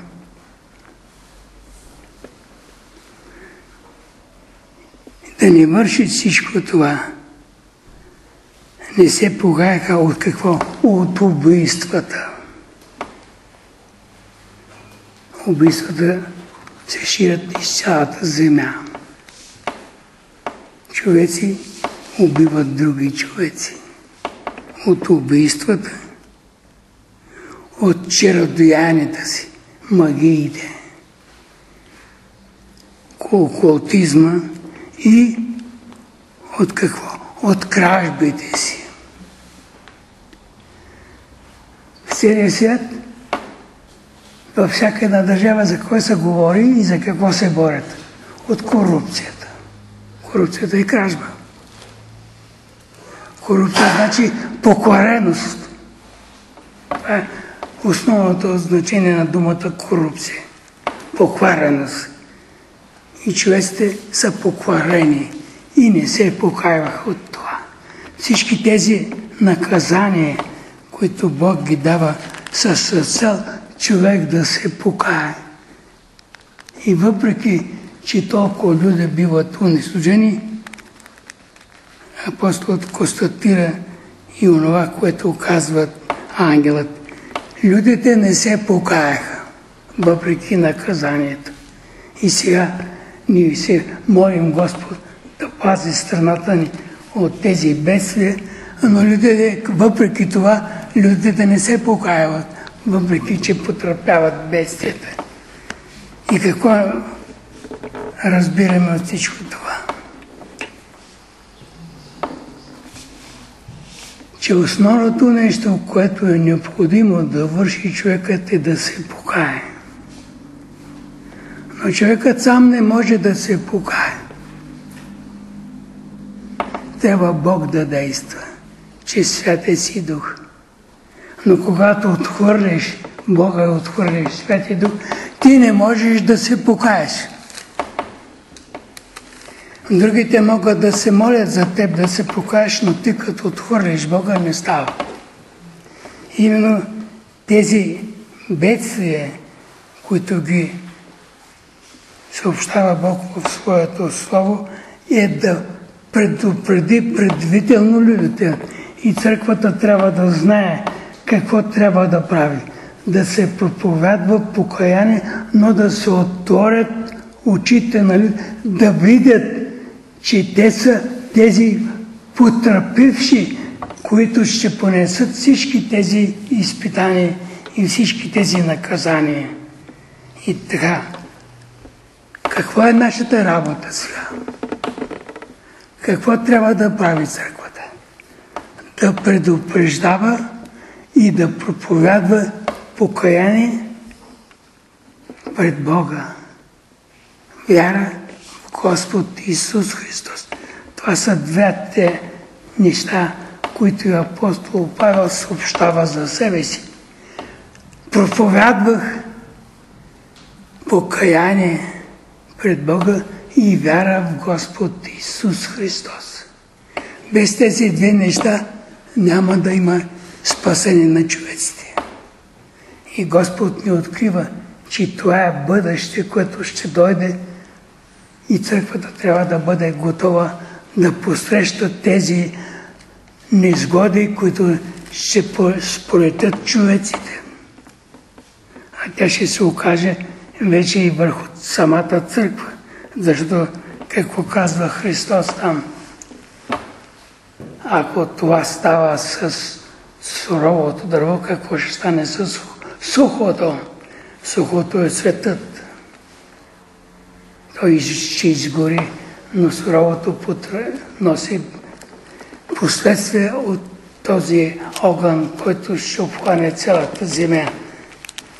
И тук е утешението ни. Какво? Че Бог ни е подпечатал. Преди да започнат изпитанията, Бог заповяда да, мин, да се поставят печат на всички вярващи. И тогава започват изпитанията и наказанията. А от нас какво се иска? Да бъдем верни. Нищо друго. Апостол Петър Певел говори за настойниците. Те настойниците, тези, които носят и вършат волята на стопани на нашият Господ Исус Христос е този, който ни е поверил това настойничество. От тях от настойника се иска да бъде верен, нищо друго. Другото Господ го дава, но настойникът трябва да бъде верен. Преди години беше един брат Шекс от Франция тук и той по едно време се оплаква там чрез брат Даниил Игнатов, влеземе връзка. Викам, виж какво, какво от нас иска да бъдем верни на благовестието. Друго, нищо. Така че каквото ще да стане, ние трябва да бъдем верни на благовестието. Верни на това, което ни е поверено. Знаем истината. Знаем, че ще идват настъп... наказание като отговор от човешкото непослушание и неверие. Ние трябва точно това да изявяване, идват наказания, бедствията. Бедствията са дадени специално, за да може човекът да се обърне от грехът и да потърси спасение чрез вяра в Исус Христос. Това е време, което предхожда наказанията. И тук е отговорността на църквата. Да изяви, идват наказания идват бедствия, човеците трябва да се покаят, да остават грехът. Бог да ни благослови, да бъдем верни на благовестието, да бъдем верни на това, което ни е поверено. Амин. Баща Небесен, сърдечно сме ти благодарни за славото, което си ни дал да се получаваме и ви се молим, че благи и изпълвани с духът си и онова, което вършим, да бъде за прослава на Твоето.